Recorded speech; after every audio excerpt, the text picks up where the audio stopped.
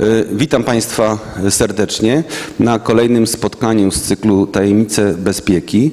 Dzisiaj będziemy rozmawiać na temat bardzo arcyważny, atrakcyjny nie tylko dla Państwa i tych, którzy nas słuchają, ale prawdopodobnie kilku ambasad mm, zlokalizowanych w Warszawie.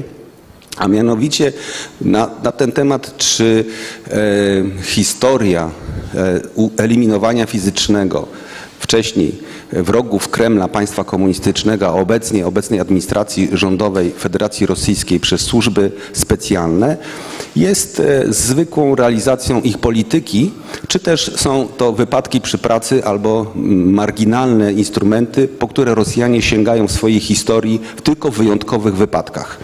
E, Do udziału w naszej dyskusji od lewej strony zaprosiłem generała Andrzeja Kowalskiego, obecnie pracownik naukowy AŻWOJ-u, czyli Akademii Sz- Sz- Sztuki Wojennej, e, byłego szefa e, wywiadu wojskowego, a także służby kontrwywiadu wojskowego. Witam pana, panie generale.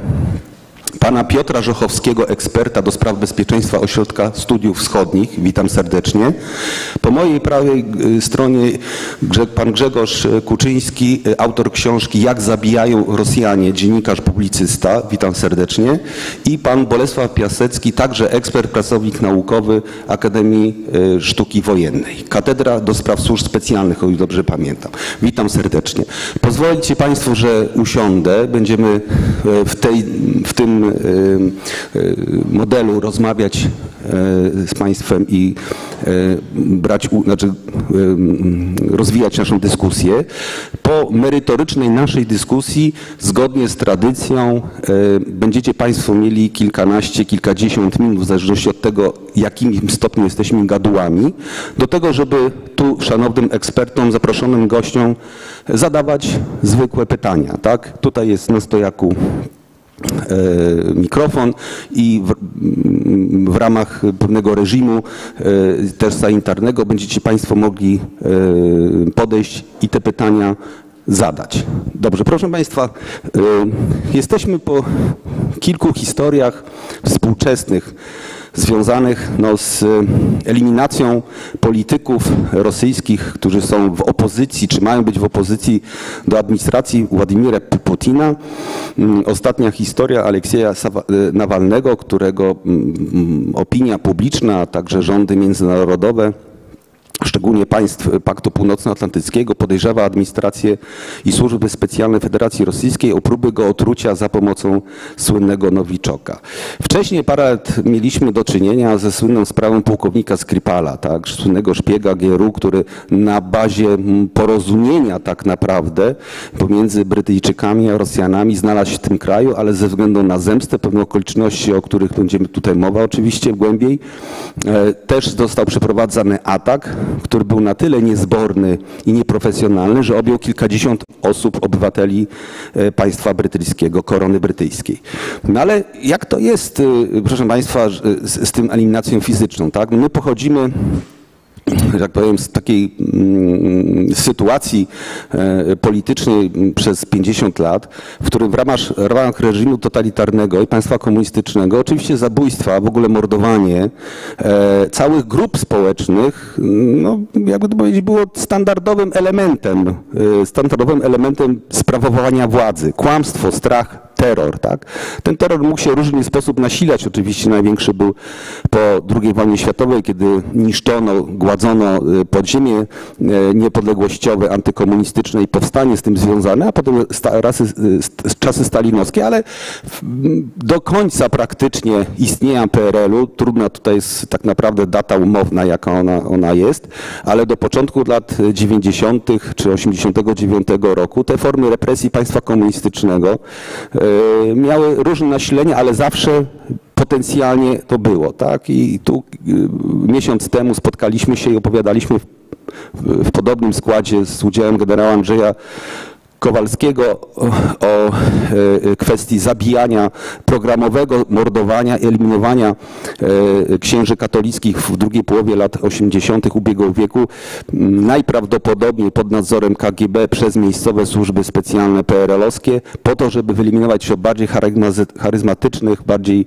mm, silnie oddziałujących na, na, na lokalne czy, czy społeczeństwo w skali makro e, kapłanów, e, którzy też mogliby być przeszkodą dla dekretowanej e, e, transformacji ustrojowej, a także dokonywać pewnej osłony tej negatywnej e, tych hierarchów e, Kościoła katolickiego, którzy przez komunistów byli wtedy mm, kontrolowani. Tak? Inaczej prawdopodobnie wyglądałby Kościół katolicki teraz, z początku lat 90. ubiegłego wieku, gdyby nie doszło do tych słynnych morderstw e, na księżach katolickich, ksiądz Blachnicki, Popiełuszko, Zygzuchowolec i Niedzielach, tak? No dobrze, ale mamy, proszę Państwa, realia e, jak gdyby rosyjskie, tak?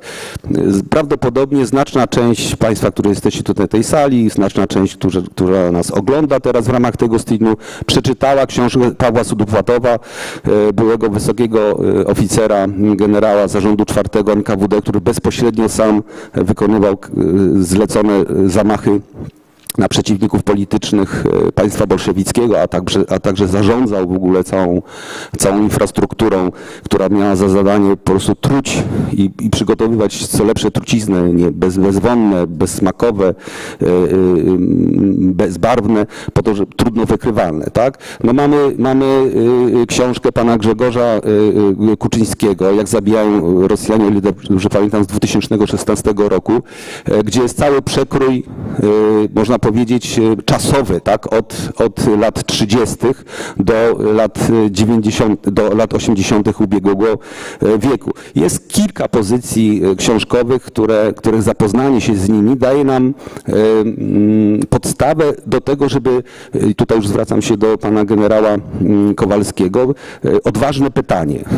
Mm, Odważne pytanie, może retoryczne dla jednych, może nie dla drugich, ale jest tak, y, y, Andrzeju, czy ten, y, ten sposób, ten, te instrumenty eliminowania fizycznego, bardzo przebiegłego oczywiście, no, trucie w ogóle samo w sobie jest jednym z, z takich no, bezpiecznych dla zleceniodawcy czy wykonawcy sposób uśmiercania przeciwników, ale czy to jest treść, istota obecnych służb specjalnych Federacji y, Rosyjskiej, które wywodzą się i obserwujemy tą ciągłość zachowaną z sowieckim modelem, czy to jest może margines, może marginalny wachlarz instrumentów, które Rosjanie e, e, mm, stosują w wypadkach dla nich po prostu ekstremalnych, takich, gdzie inne środki już nie mogą być użyte albo zawodzą. E, e, Czyli innymi słowy, mamy mm, te metody zabijania,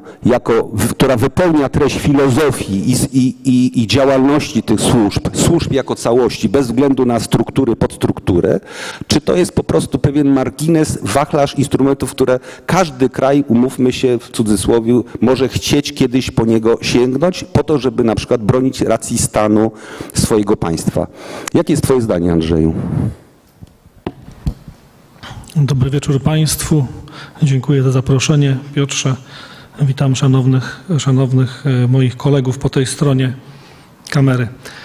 E, Drodzy Państwo, to oczywiście to bardzo długi wykład historyczny by trzeba było zrobić. Zacznę od e, prostego, zupełnie lakonicznego stwierdzenia. Trucie było zawsze. I nie chodzi o to, co mówią politycy, tylko albo, albo akademicy, tylko faktyczne trucie przeciwników. Nie wiem, czy mm, pamiętacie takie, taki fakt e, z historii Polski, że król Jagiełło pił tylko wodę i długo żył. Wtedy substancje rozpuszczały się głównie w winie, te, które były substancjami niezdrowymi. No i król Jagiełło doszedł do wniosku, że będzie pił wodę, no i faktycznie rządził nam długo. To oczywiście troszkę dykteryjka, ale to jest perspektywa, w której się poruszamy w historii. Nie bójmy się tego mówić. Truło się. Truło się władców, truło się pretendentów do tronu. E, Mnóstwo osób zostało w ten sposób wyeliminowanych. W Rosji Sowieckiej tak naprawdę mamy bardzo ciekawy moment na początku lat dwudziestych. Można powiedzieć, została zakończona wojna domowa. Tak zwana interwencja zbrojna została pokonana. biuro polityczne, właśnie komisariat ludowy, zdaje sobie sprawę z tego, że e, niemożliwa jest taka skala terroru, jaka była do tej pory. Do tej pory przeciwników załatwiało się bardzo łatwo, bo wystarczyło tylko wysłać odpowiednią grupę czeka z rozkazem, gdzie mają pojechać i kogo zabić. Oni jechali, zabijali nie było najmniejszego problemu. To wszystko szło w wielki zbiór, e, mówiąc ordynarnie, trupów, które zostały na drodze rewolucji. Trzeba było ucywilizować państwo. Rosja sowiecka chciała być członkiem wspólnoty międzynarodowej. Chciała podpisywać normalne traktaty, chciała być traktowana jako równorzędny podmiot. Nie można było być państwem terrorów o takiej skali jak wcześniej, no a przeciwników trzeba było się pozbywać. Więc tak naprawdę kariera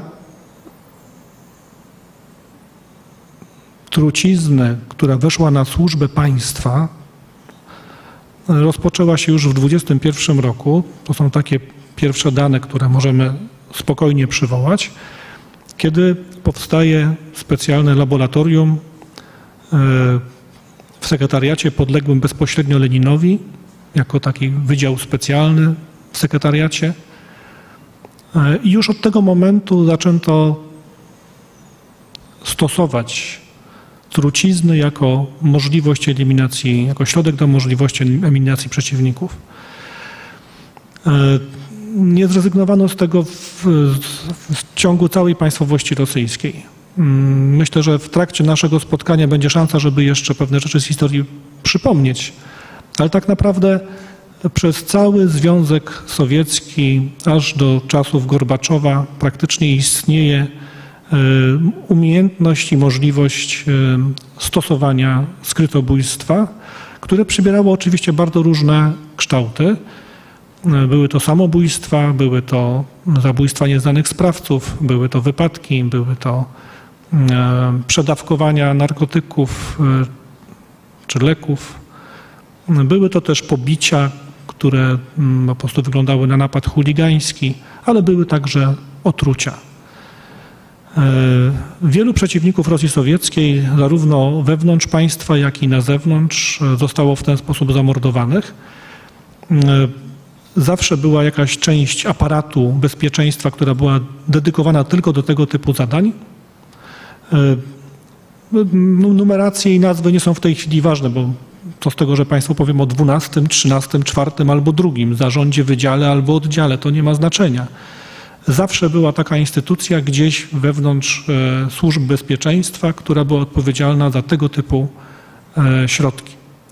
Co więcej, zawsze istniały nie tylko laboratoria, w sensie jakieś małe zespoły medyków, którzy tam mieszali te trucizny i co, co im tam zadymiło z kolby, to było dobre.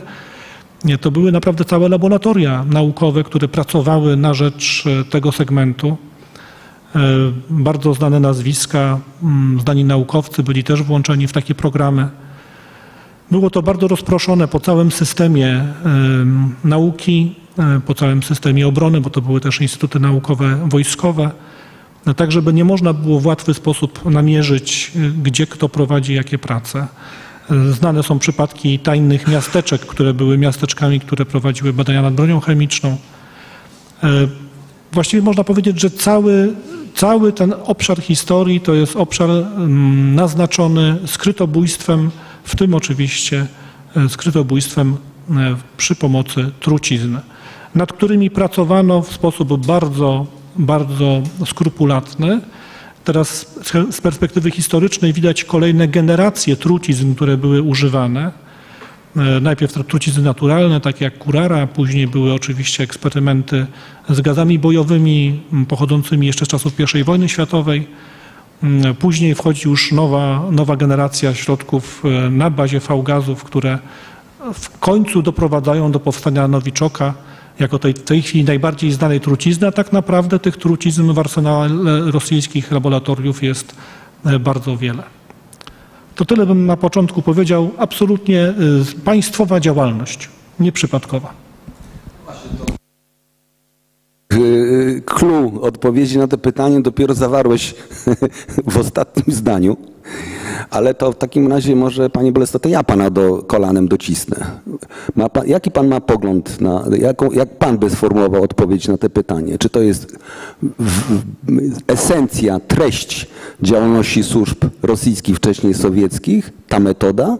Czy tak jak powiedziałem, to jest jakaś tam forma marginalna, ekstremalna, ale takiego sięgania w naprawdę wyjątkowych wypadkach, gdzie, gdzie nie mogą sobie już niczym poradzić? No, na pewno nie jest to, to drugie. Natomiast czy jest to stricte esencją? Powiedziałbym, że co innego jest esencją, że esencją jest zarządzanie percepcją przeciwnika, a nie sama e, jego eliminacja. Natomiast no, trzeba powiedzieć, że każda z głównych służb specjalnych rosyjskich ma tego typu tego typu e, jednostki. Ma to FSB, ma GRU, ale ma także SWR. I one te zadania, które dostają i tutaj też po części odpowiadając znowu na Pana pytanie, nie ma wątpliwości. Te zadania są bezpośrednio zlecane z szczytu państwowej hierarchii w Rosji. Nie jest to tak, że ktoś na średnim czy wysokim nawet szczeblu FSB stwierdzi, że sobie kogoś tam zgładzi jakiegoś dziennikarza. To są planowe że tak powiem, strategiczne działania, e, strategicznej aktywności państwa rosyjskiego, które, ta, która ta aktywność i ta perspektywa strategiczna jest po prostu przesiągnięta rosyjską e, mentalnością służb specjalnych. Chciałbym tutaj zwrócić uwagę na to, że, e, że niektórzy zabijają w sposób taki, żeby się podpisać, używają substancje, które tylko cały świat wie, że tylko oni e, mają, a na przykład SWR, który miał w różnych miejscach, między innymi w zarządzie S, czyli u tak zwanych nielegalów tego typu komórki.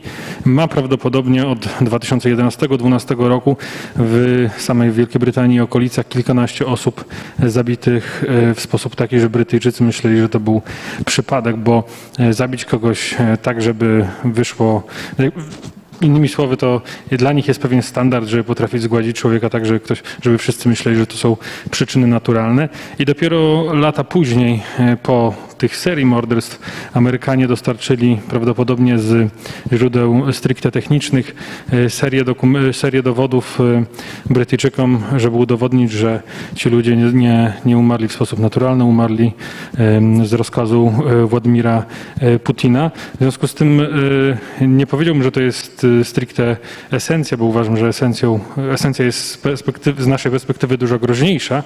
Natomiast, natomiast z pewnością jest to jest to model działania, który jest po prostu jednym z, z, z narzędzi takich strategicznych, które Rosjanie używają i powtarzam, y, to nie jest przypadek, że każda służba ma ludzi, którzy potrafią to robić i co więcej, każda służba jakby to robi. Widzimy to na przykładzie morderstw zleconych i przeprowadzonych przez kadrowych funkcjonariuszy FSB, GRU czy SWR, który robi to, jak się wydaje, najciszej. I tu też moim zdaniem nie ma przypadku do, dopytam Pani Bolesławie, bo tak, ba, bardzo ciekawą rzecz Pan powiedział w tym aspekcie, bo się zgadzamy oczywiście, że ta metoda jest no jakby w ogóle metoda eliminacji e, przez Rosjan, przez służby specjalne rosyjskie, czy państwa sowieckiego, czy obecnego fizycznej i jest, jakby wypełnia treść. Znaczy to, jest, to, to się mieści po prostu, w, jakby to powiedzieć, w ich filozofii w ogóle zarządzania. Dobrze, to już mamy, ale powiedział Pan ciekawą rzecz, że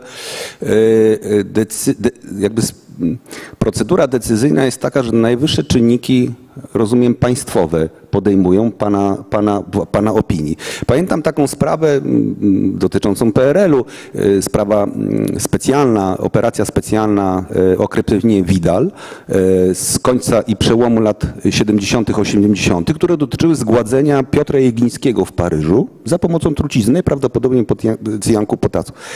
Autoryzację według dokumentów, które mamy, zachowane zostały w Instytucie Pamięci Narodową, dokonał minister Kowalczyk, ówczesny minister spraw wewnętrznych. To on musiał dać parafę polityczną. Pana zdaniem, teraz za chwilę przejdziemy do, do pana Piotra i do historii Nawalnego. Jeżeli uznamy, że rzeczywiście Aleksiej Nawalny został zaatakowany przez służby sowieckie, to, znaczy rosyjskie, to pana zdaniem, że tak powiem, w tych operacjach ten szczebel decyzyjny gdzie może być umiejscowiony? No właśnie tu jest pewien problem w mówieniu o państwie rosyjskim i rosyjskich służbach specjalnych, gdzie w pewien sposób Naturalnie oddzielamy e, szczebel służb specjalnych i szczebel administracji prezydenckiej, czy szczebel służb specjalnych i nadzoru politycznego. W Rosji e, nie ma czegoś takiego. E, W zasadzie nigdy poza, mm, poza pewnym okresem stalinizmu czegoś takiego nie było.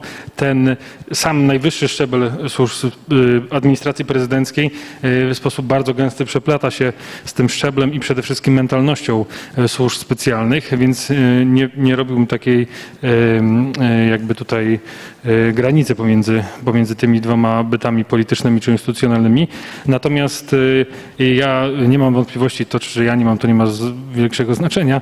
Natomiast też też y, wiele y, instytucji zachodnich nie ma wątpliwości, że y, tutaj parafę, a także, że tak powiem, często taki sygnał strategiczny, inicjatywę wychodzi po prostu bezpośrednio z otoczenia lub od prezydenta Putina i tutaj jakby moim zdaniem nie ma w tym nic dziwnego. W wielu innych aspektach działalności rosyjskich służb specjalnych jest podobnie. Na przykład w niektórych operacjach wpływu wiemy, że także główne motywy są zawsze, tak mówiąc kolokwialnie, klepane przez, przez y, Kreml. Ja jeszcze chcę potwierdzić, po- podkreślić y, ten taki podział nieco zachodni na służby specjalne i organ władzy wykonawczej, który je nadzoruje w Rosji jest y, mocno zachwiany.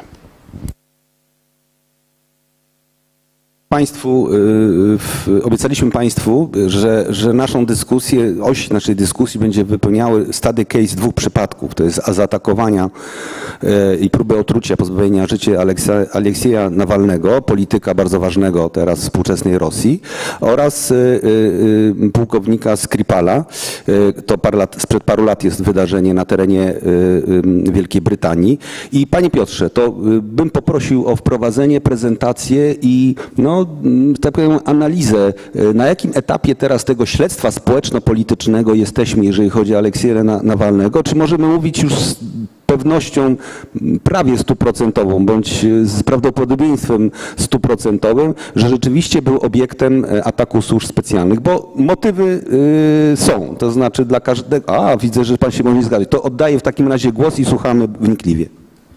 Y, Dziękuję.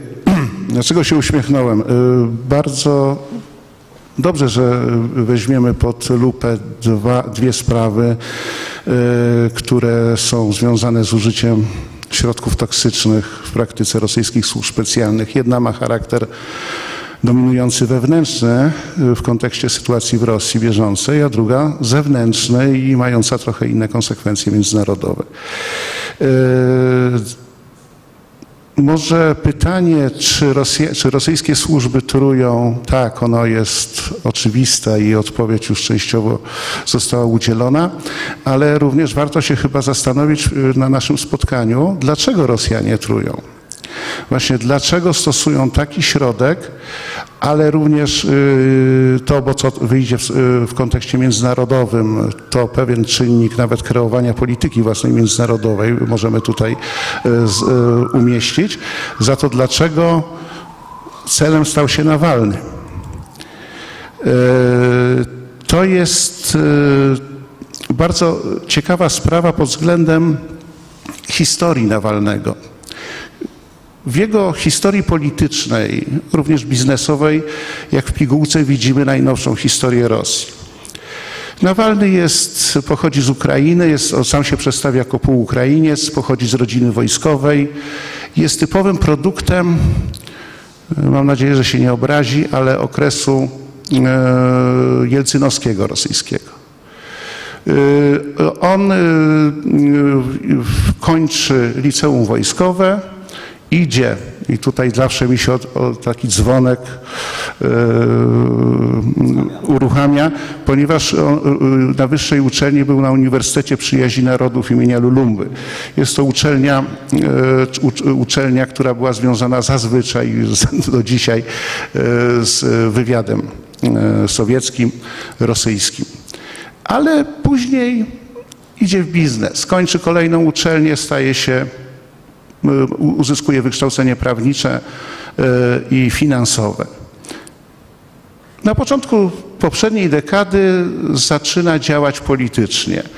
Y, Nie jest to groźne dla władzy, przykleja się do y, partii Jabłoko, y, potem ma zwrot nacjonalistyczny. Y, Widzimy go w ruchach y, prezentujących poglądy nacjonalistyczne w Rosji. Nadal jego działalność nie zwraca zbytniej uwagi władzy. Jakie Nawalny ma poglądy? Bo to jest też ciekawe, kiedy będziemy pozycjonować, dlaczego stał się przeciwnikiem Kremla. E, Te cytaty są wzięte z wywiadu Nawalnego, którego udzielił w 2019 roku. I to jest ciekawe, że jego poglądy odpowiadają w sumie naszej wizji poglądów przeciętnego Rosjanina. E, To jest e, e, jego, jego stosunek do pozycji Rosji, do tego, że Rosja powinna być ośrodkiem siły, jest bez dyskusji. Nawalny widzi Rosję jako najbardziej istotnego gracza na kontynencie europejskim. Stosunek do Polski obojętny. Właściwie Polska nam nie jest potrzebna. No, my, mocarstwo, jakie widzimy y, tutaj interesy. Stosunek do Ukrainy jest y, bardzo denerwujący y, Ukraińców, ale również i Białorusinów, dlatego że y, on uważa, że narody ukraiński i białoruski, i białoruski nie, no praktycznie to, to, to ich istnienie jest wątpliwe. Właściwie stanowimy ten jeden wielki naród w, w, we wspólnocie trzech narodów słowiańskich. Także jak widzimy tutaj nie mamy y, wizji y, osoby, która reprezentuje y, poglądy liberalne. Stosunek do Niemców. On się nigdy nie wypowiadał. Ja nie spotkałem wypowiedzi, którą by. a i, z jedną różnicą. Choć traktujmy to oczywiście jako pewne teatrum polityczne. Y, Nawalny mówi, że Rosja powinna być członkiem Unii Europejskiej. Oczywiście z, razem z najsilniejszymi partnerami w Europie. Czyli taki model Euroazji, tak? Tak, tutaj także, dlaczego o tym mówię? Dlatego, że chcę pokazać pewien, e, znaczy ja, ja jak się krytycznie odnoszę, kiedy my tak mówimy, że Nawalny jest przedstawicielem opozycji demokratycznej, tak? Dlatego, że nam ucieka e, ten, ten, e, te, te, ten podkład ideologiczny jego poglądów, jego, jego wizja na świat. Ta wizja na świat nie zagraża Kremlowi. Ale to pytanie jest takie, czy Nawalny jest imperialistą rosyjskim? Y, W pewnym sensie tak. Polega to na, y, na tym, że on się sam o sobie mówi, że jest nacjonalistą obywatelskim, tylko że jest to pewna specyfika rosyjska, którą do dzisiaj nawet władze w Rosji y, nie mogą sobie poradzić, budując ideologię państwową. To jest pojęcie narodu i, no właśnie, i narodowości. Dlatego, że naród w pojęciu rosyjskim to jest coś więcej niż narodowość. To mieszkaniec Rosji, niezależnie od jego narodowości, tworzy naród rosyjski. Jest to taka koncepcja, którą cały czas próbują wprowadzić w życie. Ja to oczywiście może sprymitywizuję problem, ale wiąże z tym, że po końcu mitu narodu sowieckiego zabrakło takiego mitu założycielskiego dla y, państwowości rosyjskiej. No widziałem, że on jest 78 rocznik, tak? Tak. Y, y, A czy publicznie w jakiś sposób ostro formułował swój stosunek do Związku, Związku Sowieckiego jako takiego? Nie, nie, tak? nie, nie, dlatego że to tak jak, jak, jak, jak, jak Mhm. trochę może, może złośliwie stwierdziłem, on jest, on jest człowiekiem, którego w sumie się ukształtował w- Rosji trochę inaczej sterowanej za Jelcyna i w Rosji, która była jednak pod względem gospodarczym e, bardziej, bardziej mniej skoordynowana z Kremla niż, e, niż obecnie. Jest to, jest, to, jest, to, jest to przedstawiciel, mówię, też upraszczam, ale jest to przedstawiciel takiego średnio wyższego biznesu rosyjskiego. Dlatego, że on prowadził dosyć aktywną e, działalność gospodarczą. Trzeba o tym pamiętać. Zakładał wiele firm i co się dzieje, dlaczego, dlaczego on, on zaczyna być niebezpieczny tutaj dla Kremla. No tak, ale jeszcze tylko, do, tylko do, do kolanem dopytam, bo dla nas to są ważne sprawy, może z tamtej perspektywy nie, ale to jest stosunek do aneksji Krymu i do wojny w Donbasie. Zgadza się, ja bym y, do tego przeszedł, ale poganiany jestem, no to oczywiście możemy do tego przejść. Pierwsze wypowiedzi to jest kwestia konfliktu z Gruzją, kiedy on zachęcał publicznie wojska rosyjskie, do, żeby zbombardowały najlepiej sztab generalny Gruzji, także opowiedział się po prostu za, za tym działaniem. E, Do Krymu, po aneksji Krymu zrobił dwa ruchy trochę sprzeczne. Dlatego, że jeden to jest to, że powiedziałeś bodajże, że Krym to nie jest kanapka z kiełbasą, którą możemy oddawać komukolwiek. Yy, zaproponował powtórne referendum na Krymie, które miałoby, no nie wiem, no chyba liczył, yy, co yy, raczej, raczej liczył moim zdaniem na to, że takie powtórne referendum by potwierdziło aneksję Krymu. Za to co jest sprzeczne z, z logiką jego działania, to jest to, że podczas pobytu w, w Stanach dwukrotnie wzywał władze amerykańskie do nałożenia sankcji na Rosję i, i wyższych urzędników państwowych odpowiedzialnych właśnie za tą decyzję. Także mamy takie dwie twarze Nawalnego, yy, jedną być może yy, bardziej na zewnątrz, drugą na wewnątrz. Yy, Kiedy zaczynają się problemy Nawalnego? Ja ciągle się zastanawiam, kiedy, w, którym, w który moment wskazać, że zaczyna on być niebezpieczny dla, dla Kremla. Nawalny jest, jak mówiłem, jest reprezentantem biznesu średniego, który się boryka z wieloma problemami yy, yy, podczas yy, funkcjonowania w Rosji. Jest to oczywiście opresyjność władz, jest to korupcja, jest to, to te ciemne interesy tak zwanego głębokiego państwa, jak niektórzy mówią, że w Rosji istnieje ten, ten przecież takie pojęcie, że wszystko załatwiamy po paniatiam, y, czyli y, my się dogadujemy, tu nie ma prawa, tu nie ma jakichś podstaw prawnych. My, my, my robimy biznesy porozumiewając się bez słów. Ale y, Nawalnemu zaczęło uwierać to, że, właściwie, że y, system putinowski dokręcał gospodarkę, przez co ograniczał wolność takich ludzi jak on. Wolność prowadzenia interesów. I co ciekawe, Wa- Nawalny zaczyna swoją działalność, którą nazywamy, e, którą określamy jako, że ona jest skierowana przeciwko władzom na szczeblu lokalnym.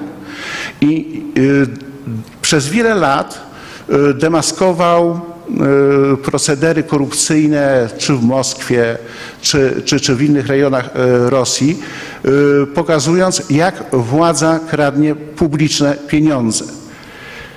Y, Wtedy Nawalny też, jego krytyka oczywiście wywo- wy- wywoływała y, różne reakcje władz, no ale nie aż tak brutalne. I y, co się dzieje dalej? Nie umiem sobie tego wytłumaczyć do dzisiaj, dlaczego Nawalny decyduje się wejść na najwyższą półkę polityki. Może zaczęły decydować sondaże, które pokazywały wzrost jego popularności. Nawalny zdecydował się na aspirowanie do urzędu prezydenta Rosji. Mając poparcie w wyborach lokalnych w Moskwie, które zostały zresztą e, skutecznie, jego udział został e, unieważniony, uzyskał 20%, jeśli dobrze pamiętam, wygrywa Sobianin, 23%, E, ale to znaczyło, że już na obszarze Wielkiej Moskwy Nawalny jest rozpoznawalny, ma pewien bagaż polityczny i co ciekawe, cieszy się poparciem tego średniego, tej, powiedzmy no, średniej klasy. Nie lubię tego słowa, bo ono jest bardzo nieprecy- określenia, bo ono jest bardzo nieprecyzyjne i niekoniecznie się odnosi do wszystkich społeczeństw, ale na pewno do, do średniego biznesu, do ludzi, którzy y, są zniechęceni formami y, rządów w Rosji. Y, jego uderzeniową operacją y, jest y, rozpoczęcie śledztw, któ- których y, wyniki publikował w sieci y, śledztw dotyczących majątku y, polityków rosyjskich z najwyższej półki. To już było bolesne uderzenie, dlatego że on tu uważam przekroczył czerwoną granicę.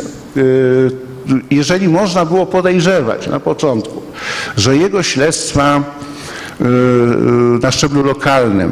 To był, on dostawał od kogoś, mógł te, dostawać y, te materiały, mógł y, uczestniczyć w jakiejś grze na szczeblu powiedzmy moskiewskim, pomiędzy różnymi ośrodkami władzy, reprezentantami służb i, i, i, i, i po prostu brał być może bezwiednie, być może nie do końca świadomie w jakiejś grze o, o władzę na szczeblu lokalnym, to tutaj już wychodzi poza, uważam, y, wchodzi trochę inny ciężar wagowy y, obecności politycznej. Wtedy zaczynają się wobec niego już represje, dosyć ostre. E, Jest to osoba już, która jest No właśnie, ale to y, Panie Piotrze, bo dotknął Pan sprawy takiej nie tylko czerpania informacji już na, w skali makro, tak, dotyczących najważniejszych osób e, Federacji Rosyjskiej, ale mm, czy mógł być, zacząć być elementem jakiejś rozgrywki, którego używano do, jak, znaczy, bo to jest Rosja, tak, znaczy to... Tego nigdy nie możemy wykluczyć. Ja się zgadzam. To jest, uważam, do dyskusji jeszcze w dalszej części, bo to, jest, to są te najbardziej trudne tematy do opowiedzenia.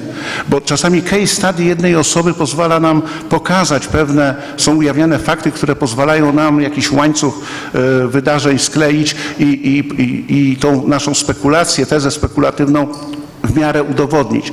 Z Nawalnym jest problem, dlatego że on zmienił tą kategorię wagi.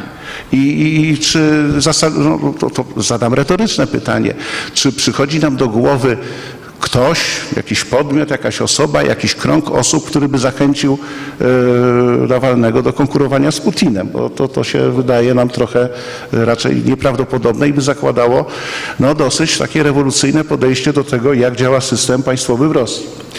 E, co najbardziej, właśnie, w ogóle zapomniałem o jednej podstawowej sprawie, co najbardziej zdenerwowało obóz władz, to, że takim kluczowym programem politycznym Nawalnego, który zaczął się od krytyki partii Jedna Rosja, putinowskiej partii władzy, którą o- śmiał określić partią chuliganów i złodziei, za to grożono mu procesami, ale po prostu y, y, strona powiedzmy rządowa władz na Kremlu no bardzo się zirytowała takim, y, taką skalą obrazy i zaczął konsekwentnie przedstawiać elitę kremlowską jako właśnie chuliganów i złodziei. Przede wszystkim złodziei, którzy kradną budżetowe pieniądze. To powoduje stopniową eskalację odwetu, może tak to określę. Y, y, I dochodzi do, y, bo, nie wiem, czy mi uciekł ten slajd, ale, ale a, dobrze, bo Nawalny tak podliczy, y, spędził 474 dni w areszcie od 2011 do 2019 zro- roku, y, w tym 242 w domowym. W 2019 miał kłopoty ze zdrowiem podczas pobytu y, w areszcie, dostał, był zatruty, potem wyleczony. Y, Zaczęły się już koło niego tak by zagęszczać atmosfera, jeżeli chodzi, bo wcześniej były pobicia, turbowanie, zatrzymanie, y, sprawa sądowa, próba nałożenia kary finansowej za nielegalną działalność, y, między innymi w, na niwie medialnej. Ale potem zaczyna się jakby, jakby następują pewne y, takie działania, które są coraz bardziej brutalne. I co się dzieje w Rosji, bo musimy to przypomnieć. Tak? No, no, Daleki Wschód od kilku miesięcy jest bardzo jest bolączką dla Kremla. E, Ze względu na złą sytuację e, ekonomiczną ty, ty, tych regionów dalekowschodnich, e, również wynikającą z tego, że no, jest zły styl zarządzania ze strony gubernatorów, dochodzi do długotrwałych protestów społecznych, które właśnie takie są jak typowe w Rosji. One nie rozszerzają się na kraj, czasami się koncentrują w jednym regionie, w jednej grupie zawodowej, ale wyrażają zniechęcenie do sposobu uprawiania władzy, nie do państwowości e, jako takiej, nie do działalności nawet FSB. To jest przede wszystkim krytyka działania urzędników, którzy e, właśnie posuwają się do nadużyć finansowych, do wymuszania łapówek. Ten, taki, taka siła protestu w Rosji istnieje, choć podkreślam, Rosja jeszcze nie płonie z tego powodu, ale jeżeli to dotyczy dużego regionu, dużego, dużego miasta obwodowego, jest to duży problem dla Kremla, bo w, to, w tą lukę, e, w tą sytuację protestów społecznych wchodzi natychmiast Nawalny ze swoim innym projektem. Jego tym sztandarowym projektem politycznym jest głosuj z rozumem. Czyli to jest proste, jedno zdanie tego programu i nic więcej. Nie głosuj na jedną Rosję. Mamy niezależnych kandydatów, niech będzie to ktokolwiek, byle nie y, członek partii władzy. Y, To zaczęło pokazywać, taka taktyka zaczęła działać. Rzeczywiście w, w niektórych regionach Rosji y, zwyciężają ludzie niezwiązani bezpośrednio z aparatem władzy, nie, nie, pochodzący, nie, nie, nie, nie funkcjonujący w koncesjonowanych partiach. I mamy taką właśnie sytuację e, teraz e, już, która wystąpiła przy zatruciu e, Nawalnego, próbie otrucia. Nawalny udaje się na Daleki Wschód, chcąc przyłączyć się lub agitować lub organizować protesty regionalne. No i dochodzi, dochodzi do próby otrucia. Y, I dlaczego przyjmując? Przyjmując, że y, za tym, za otruciem Nawalnego stoją służby, nawalne, y, służby specjalne, to dlaczego zapada ta decyzja? Uważam, że tak jak wspomniałem wcześniej, Nawalny stał się trochę samorodkiem politycznym. Sama kontrola służb, która oczywiście jest y, w Rosji permanentna, y, jednak nie jest na tyle skuteczna, żeby bez środków brutalnych przestraszyć człowieka, który jest zdeterminowany. Może to jest zbyt idealistyczna teza, ale reakcja władzy, bo my stoimy teraz cały czas, przypominam, na stanowisku, został otruty przy udziale służb specjalnych y, Rosji, jest y, reakcją ostrzegawczą. Po raz kolejny każde zabójstwo polityczne, które miało miejsce w Rosji, tak jak już pamiętam od lat, miało pewien kontekst zastraszenia, wysłania sygnału strachu do społeczeństwa. Jeżeli jesteś już zbyt pewnie się czujesz, jeżeli wierzysz w swoją wielkość polityczną i wierzysz, że możesz zakłócić procesy, które są ordynowane z Kremla, to możecie e, czekać już nie tylko nieprzyjemność w postaci odsiadki, ale również śmierć. I to jest pewna taka powtarzalna, e, powtarzalna e, no niestety dla Rosji powtarzalna sytuacja. Ja tylko przypomnę e, zabicie, co prawda nie otrucie, ale zastrzelenie Borysa Niemcowa na moście kremlowskim, co było manifestacją ze strony władz, bo oczywiście sprawa nigdy nie została wyjaśniona, że nikt nie będzie przekraczał granic dozwolonej krytyki władz. Dlaczego tutaj napisałem protesty na Białorusi? Pojawiła się po otruciu, mm, po otruciu Nawalnego taka teza, że y, po 9 sierpnia, y, kiedy zaczyna się, zaczynają się manifestacje antyłukaszenkowskie y,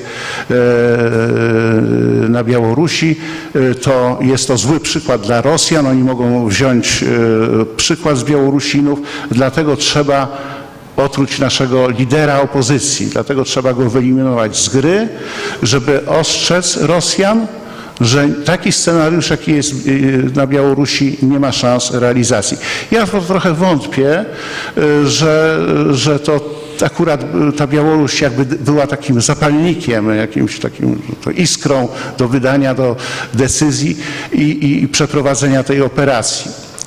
Y, Wiąże to raczej y, z y, taką psychiczną, czasami wyrażaną przez reżim, wyrażaną przez Kreml, taką mm, irytacją, że, że my już trochę się za długo wozimy z kimś, on się nas nie słucha, nie możemy go jakoś stłamsić przez lata, bo nie chcemy i w końcu dochodzi do, do, do, dochodzi do takiej sytuacji, że decydujemy się na dosyć brutalną metodę, która no, jest na swój sposób skuteczna, bo to wyjdzie również przy Skripalu, czy jak wspomnimy Litwinienkę. Zawsze taki, efektem takich działań rosyjskich jest y, jednak poczucie zaniepokojenia. Wśród nas również. No tak, Rosjanie są tak zdeterminowani, że nie wiemy kiedy, a wiemy już, że mogą, bo co ciągle nam pokazują, e, mogą zastosować takie środki, co jest, uważam, elementem świadomej e, wojny psychologicznej prowadzonej przez Rosję e, właściwie permanentnie ze światem zachodnim.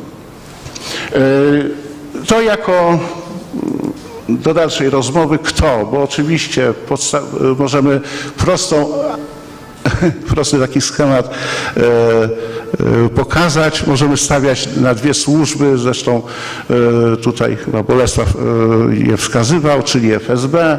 W sumie Nawalnym zajmowała się druga służba FSB, która ma w swojej strukturze taki, taką oczywiście komórkę do operacji specjalnych, ale tak jak pan generał stwierdził, no to jeśli dobrze pamiętam, albo Bolesław, że to w każdej służbie są takie w Rosji takie komórki, więc nie jest to znowu rewelacja.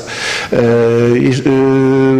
Choć chciałbym tutaj podkreślić, że e, biorąc pod uwagę drugiego podejrzanego, tego podstawowego, który tak publicy- publicystyce, to ta sławna jednostka wojskowa 29155, czyli która wypłynęła przez prawie Skripali, to ja chciałbym tylko zauważyć, że jak, jak popatrzeć na zakłady czy instytuty naukowe zajmujące się w Rosji no, badaniem środków medycznych, powiem to tak, ale również oczywiście toksykologicznych, to nie jest to tylko moduł wojskowy, instytutów wojskowych, ale również e, jest dużo instytutów cywilnych. I tutaj nie wykluczam tego, że FSB ma oczywiście swoje zaplecze e, laboratoryjne e, do takich działań. I pytanie, które pan Piotr mi zadał przed, przed spotkaniem, czy Rosja poniosła jakiekolwiek straty? I to uważam będzie jest najciekawsza rozmowa, bo ja uważam, że nikłe. Kolejny raz nikłe. No, no jaka, jaka była reakcja wspólnoty międzynarodowej? Skończyło się na Bo wiemy, że Nawalny, o i tu jest znak zapytania pod jego adresem. Dlaczego na prośbę Merkel Rosjanie puścili Nawalnego, żeby się wyleczył?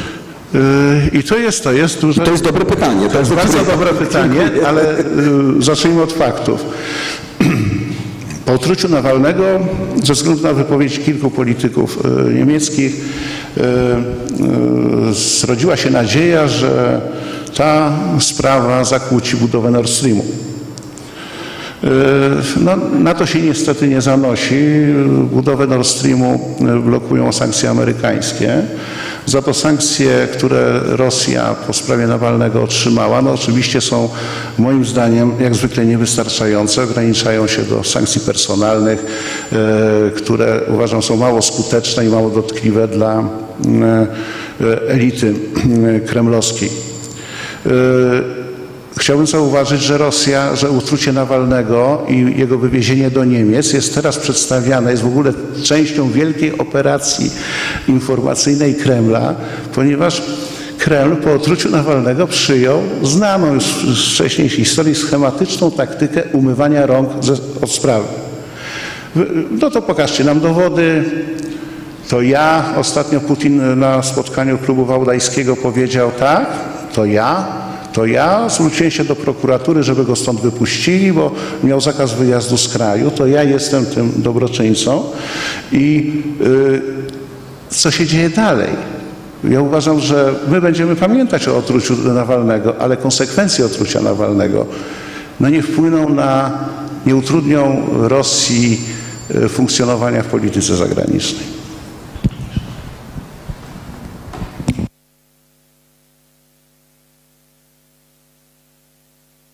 Pyta, pytanie było jakieś techniczne sprawy, bo związane z jakimś e, szumem i sygnałem, ale y, y, y, ja nie, dokładnie nie, nie rozumiem, nie jestem przekonany y, do Pana odpowiedzi odnośnie motywów e, wypuszczenia Nawalnego na zachód, tak? To znaczy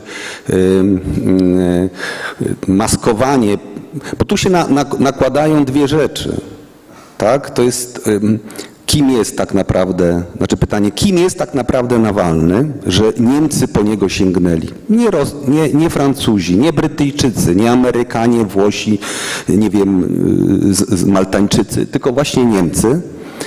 E, I druga sprawa, że jednak już wtedy, kiedy sięgali po niego, tak, chcieli go uratować i wywieźć, żeby wyleczyć, zidentyfikować, no Rosjanie zostawili ten podpis swój. On już wtedy zostawił, już wtedy w przestrzeni publicznej funkcjonował Nowiczok. Panie Bolsaje, pan ma inne zdanie? Jakie?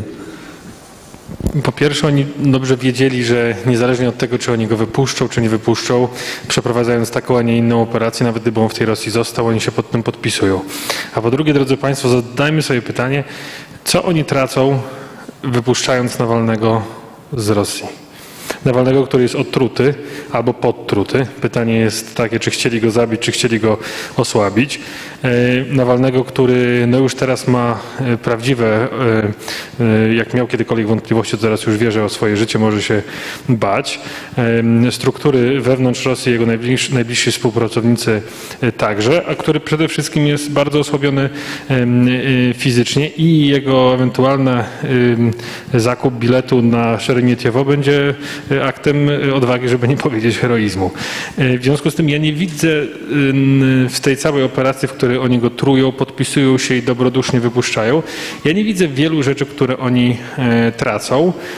Uważam, że bardziej więcej by tracili, gdyby robili z niego kolejny raz męczennika. A tak mi się wydaje, że, że jeżeli byśmy tu tak mieli taki rachunek zysk i strat zrobić, to e, póki co to dla nich e, nie wygląda na jakąś e, przegraną sprawę. Niezależnie od tego, jaka jest odpowiedź na pytanie pana, czy on jest, tak jak niektórzy twierdzą, od A do Z podstawiony, czy też jakoś kontrolowany, czy też jest wyrazem prawdziwej, prawdziwego dążenia narodu rosyjskiego do demokracji zachodniej, liberalnej i w ogóle. Oczywiście to przerysowuję specjalnie, natomiast e, tak bym to widział.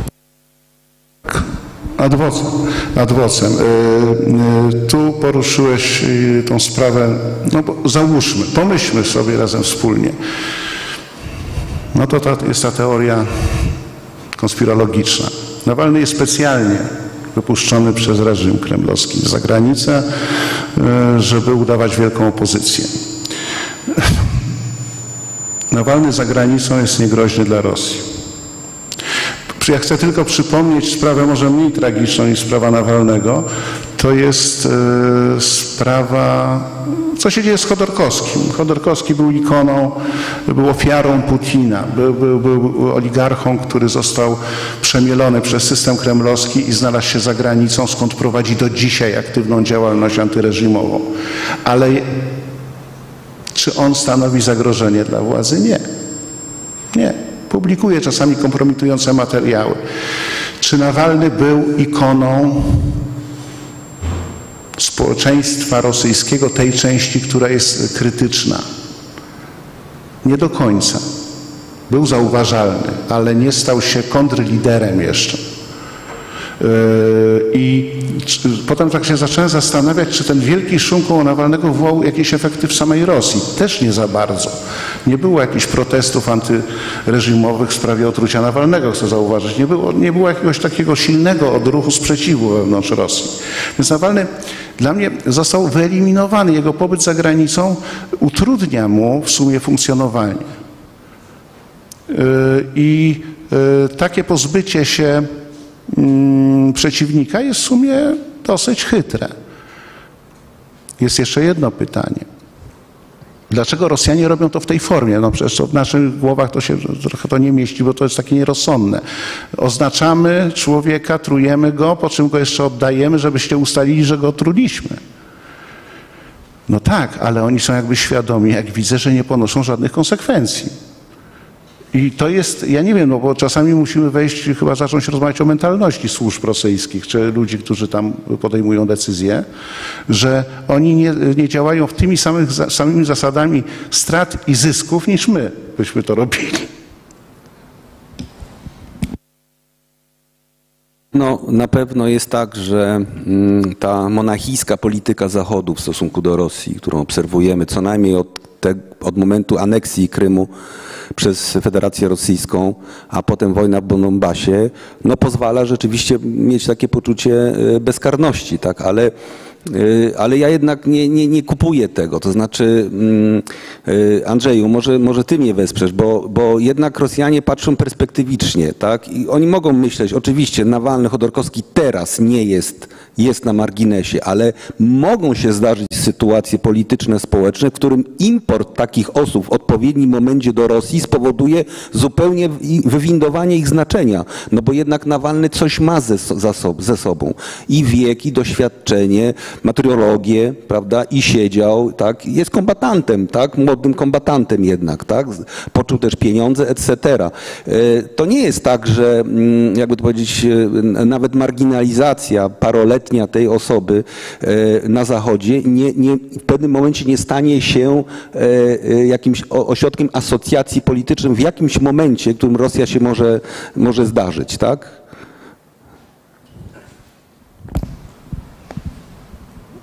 Ja miałem dokładnie taką samą refleksję. Znaczy, Głównie myślałem o wieku Nawalnego, 44 lata, jeżeli dobrze liczę, prawda? To, to właściwie to jest taki moment, że wszystko się może zacząć. E, I e, z perspektywy Rosji teraz e, zgadzam się z panem Piotrem, który mówił, że to właściwie jest tak, że nic nie tracą. To jest, to jest rozwiązanie sytuacji bardzo skuteczne w tej chwili. Znowu z drugiej strony jest to wypchnięcie przeciw, potencjalnego przeciwnika, bo Nawalny nie jest jakimś wielkim przeciwnikiem systemu. Z perspektywy Kremla to nie jest wielka postać. O wiele bardziej nadajemy my mu tą wielkość wszystkimi tymi dyskusjami, niż on faktycznie jest wielkim przeciwnikiem Kremla. Ale wypchnięcie tego człowieka poza Rosję, gdzieś w, w ramię bezpiecznych Niemiec, bo Niemcy nie są wrogim państwem, które będzie e, teraz karmiło e, w oparciu o Nawalnego e, pewien zespół ludzi, który podobnie jak 100 lat temu wsiądzie w pociąg i pojedzie zrobić rewolucję do Rosji. Nic takiego w Niemczech nie grozi. Co więcej, Nawalny w tych Niemczech będzie bardzo dobrze kontrolowany przez rosyjską agenturę, która tam pracuje. E, Tam może być bardzo łatwo usunięty. I to nie będzie wypadek na moście w Moskwie, tylko to będzie e, przypadkowe tam wpadnięcie pod pociąg na przejeździe kolejowym, e, czego już mało kto zauważy. To się odbije jakąś tam krótką informacją w mediach i nie będzie Nawalnego, a nikt nie będzie mógł powiedzieć, że Rosjanie go sprzątnęli na pewno, bo nie będzie tego robiło FSB na terenie Moskwy. Tak naprawdę tutaj wiele opcji jest zupełnie otwartych i mm, wydaje mi się, że warto mieć e, w pamięci postać Nawalnego, warto zastanawiać się, jakie scenariusze jeszcze będą wokół niego grane. E, Równie dobrze może nastąpić taki, bo to jest pełna spekulacja, nikomu oczywiście nic nie ujmując, ale tak naprawdę po, pewnych, po pewnym czasie, po kilku latach, może nastąpić przejęcie Nawalnego z powrotem przez rosyjskie służby. Nie twierdzę, że on był prowadzony do tej pory, ale on tam samotny, tam skazany na współpracowników, z którymi coś będzie chciał robić, tam będzie chciał oddziaływać na Rosję, stanie się też naprawdę bardzo podatny na e, współpracowników SWR, którzy zostaną mu podsunięci do prowadzenia jakiejś poważniejszej operacji, e, która oczywiście e, może mieć różną skalę. A to jest tylko czysta spekulacja. To ja w takim razie będę tym jedynym pełnomocnikiem Aleksieja Nawalnego. Panie Grzegorzu, proszę coś dodać. Czy ja bym się zastanowił, bo tutaj e, rozmawialiśmy o tym, dlaczego mm, Putin wypuścił Nawalnego e, do Niemiec. Tu można oczywiście wchodzić w sfery toksykologii, prawda, ale nie wiem, być może, być może jednak Rosjanie, ci, którzy dokonali tego zamachu, zakładali, że nie uda się ustalić, e, czym Nawalnego otruto. Pamiętajmy o tym, że na Zachodzie ustalono, że to jest nowiczok, ale też podkreślę, że to nie jest dokładnie ten sam nowiczok, którym e, otruto chociażby mm, próbowano zabić Siergieja Skripala, tak? E, Bo tamten to był A234 w innej formie, w formie żelu. E, No tutaj i, i- tam chodziło o aplikację poprzez skórę, poprzez dotyk, natomiast tutaj chodziło truciznę podaną, że tak powiem, doustnie. E, No w każdym bądź razie, e, gdyby nie ta butelka, e, gdyby nie te dowody przewiezione do Niemiec, z- dowody z pokoju hotelowego, gdzie znajdował się Nawalny, to być może do tej pory nie ustalono by, e, czym tak naprawdę go otruto, bo z tym był na początku problem. Niemcy oczywiście stwierdzili, że coś, coś się wydarzyło, coś się stało, ale nie było, e, przecież pamiętam, że przez pewien czas e, nie wskazano tutaj konkretnie, mm, jakiej, jakiego środka użyto, więc zresztą na początku też była teoria, że został herbatką potruty na lotnisku, tak jak swego czasu Ale narracja. Nowiczoku właśnie wtedy się pojawiła publicznie. Nowiczoka? E, Właśnie tak, ze względu na objawy. Tak, Ale co innego narracja, co innego mieć twarde Tutaj, dowody. proszę Państwa, tak uszczkniemy, o czym rozmawialiśmy w zakulisach, że, że spekulując y, pojawiła się taka hipoteza, że jego otruto poprzez nanokapsułki, tak? czyli po, tą, tą, ten sposób bardzo wysokiej technologii aplikację trucizny, która przenika praktycznie bezpośrednio do tkanek, do komórek dzięki, dzięki właśnie tej małej wielkości odwleka w czasie objawy i dzięki temu no, y, może w dużym stopniu zatrzeć, pomóc, po, pomóc zatrzeć ślady zdarzenia, tak, zlokalizowania czasoprzestrzennego zdarzenia tego odkrycia. Proszę bardzo, przepraszam. Nie, wydaje mi się, że tutaj akurat em, moment, moment, kiedy ta trucizna miała zadziałać, to raczej był e, raczej starannie dobrany. Chodziło o to, żeby, żeby Nawalny poczuł się źle na wysokości iluś tysięcy metrów na pokładzie samolotu, gdzie no nie podjedzie w ciągu kilku minut ambulans, e, nie zostanie mu udzielona szybka pomoc. No tutaj załóżmy, że gdyby załoga samolotu no nie zgodziła się na, na lądowanie szybkie, awaryjne i gdyby załoga e, ambulansu nie, nie podała mu atropiny e, dość, dość szybko, no to też nie wiemy, jakby to się skończyło. E, Wydaje mi się, że jednak tutaj bardziej by chodziło mm, o to, jak ta trucizna, na ile szybko miała zniknąć z, z organizmu, przynajmniej do tego stopnia, żeby nie można było dokładnie ustalić, co to tak naprawdę było. Grzegorzu, Pana zdaniem, dla, dlaczego y, Rosjanie zdecydowali się go wypuścić na prośbę Angeli Merkel? No ja tu się z moimi przedmówcami zgodzę. E, zres- Zresztą akurat, akurat na prośbę Angeli Merkel, no tak jak on wspomniał, a nie, nie jakiegoś innego kraju.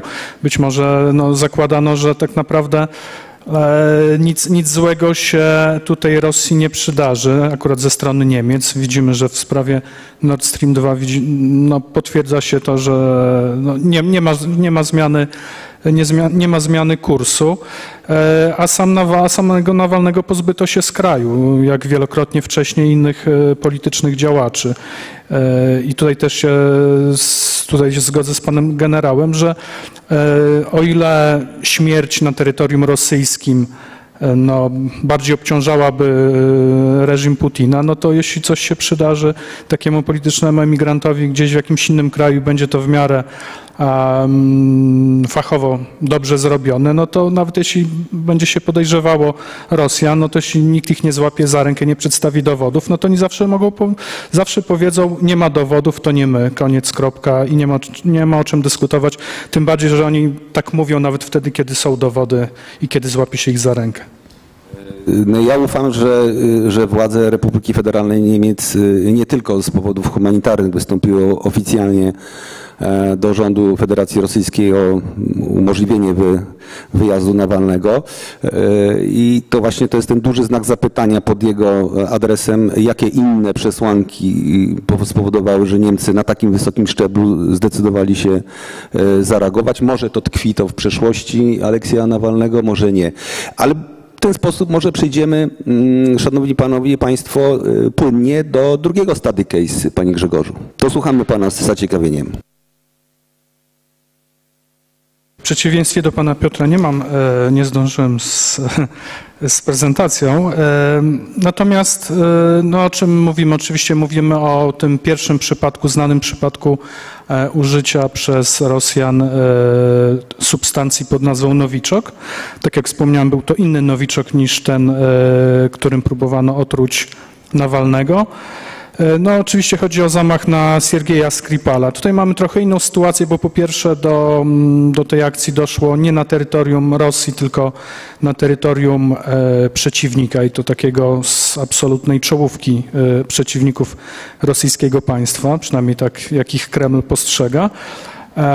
Po drugie, dotyczyło to człowieka przez wiele lat związanego z rosyjskimi służbami, byłego oficera wywiadu wojskowego GRU, już w czasach sowieckich, później rosyjskich. E, Kilka słów o Skripalu. E, No, na pewno do momentu, kiedy, kiedy stało się o nim głośno mm, w 2018 roku, kiedy próbowano go otruć, e, no, nie był tak znaną postacią jak teraz Nawalny. Tak naprawdę mm, chyba najbardziej medialny fakt związany z jego przeszłością to był 2010 rok, kiedy on był jednym z kilku z kilku Rosjan skazanych e, za szpiegostwo, odsiadujących wyroki więzienia e, w rosyjskim więzieniu i wymieniono ich za taką dość medialną e, bardzo siatkę, e, tak zwaną siatkę Anny Chapman, czyli e, grupę rosyjskich agentów wywiadu działających w Stanach Zjednoczonych. Sam Skripal, tak jak wspomniałem, był oficerem GRU, służył w Afganistanie, mm, służył w wojskach powietrzno-desantowych, później no, wytypowano go, że jest na tyle, na tyle obiecującym oficerem, że został em, przeniesiony do, do, do wywiadu wojskowego pod przykryciem dyplomatycznym, pracował e, w kilku zachodnich państwach. E, W latach 90. został zwerbowany przez brytyjski wywiad e, i tak mniej więcej po około, około 10 latach e, został e, aresztowany prze, przez Rosjan, oskarżony o szpiegostwo i skazany w 2006 roku na 13 lat więzienia.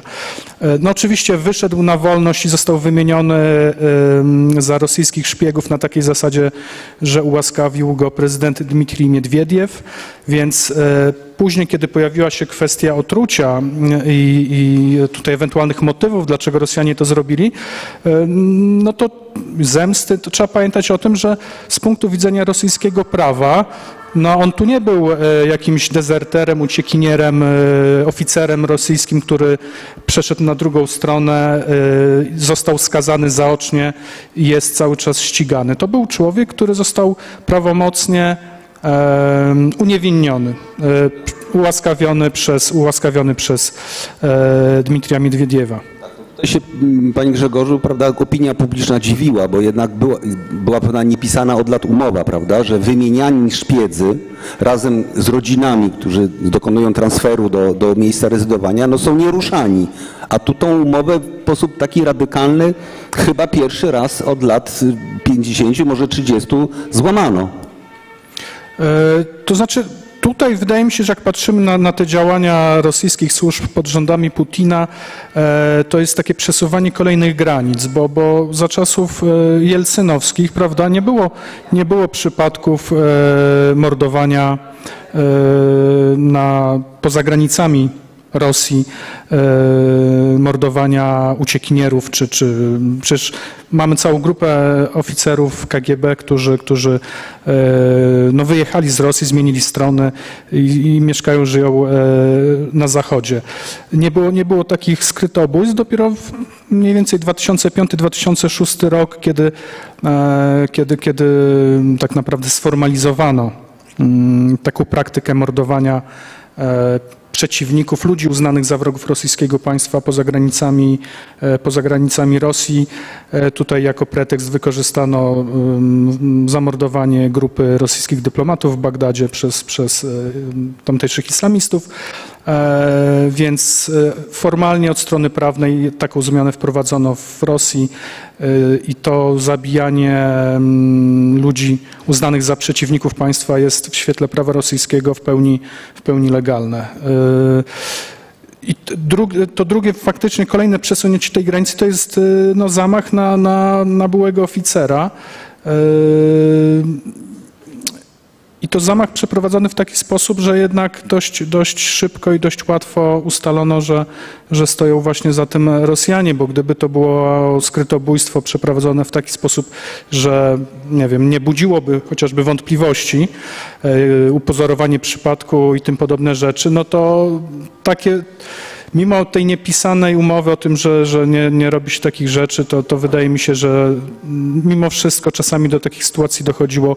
Być może niekoniecznie musimy o tym wiedzieć, czy też e, nie została tam ta wina Rosjan udowodniona. Ale wracając do samego Skripala, e, ja bym tu się skupił na, na samym przebiegu tej akcji, e, bo to tak naprawdę nastąpiło w ciągu kilku dni.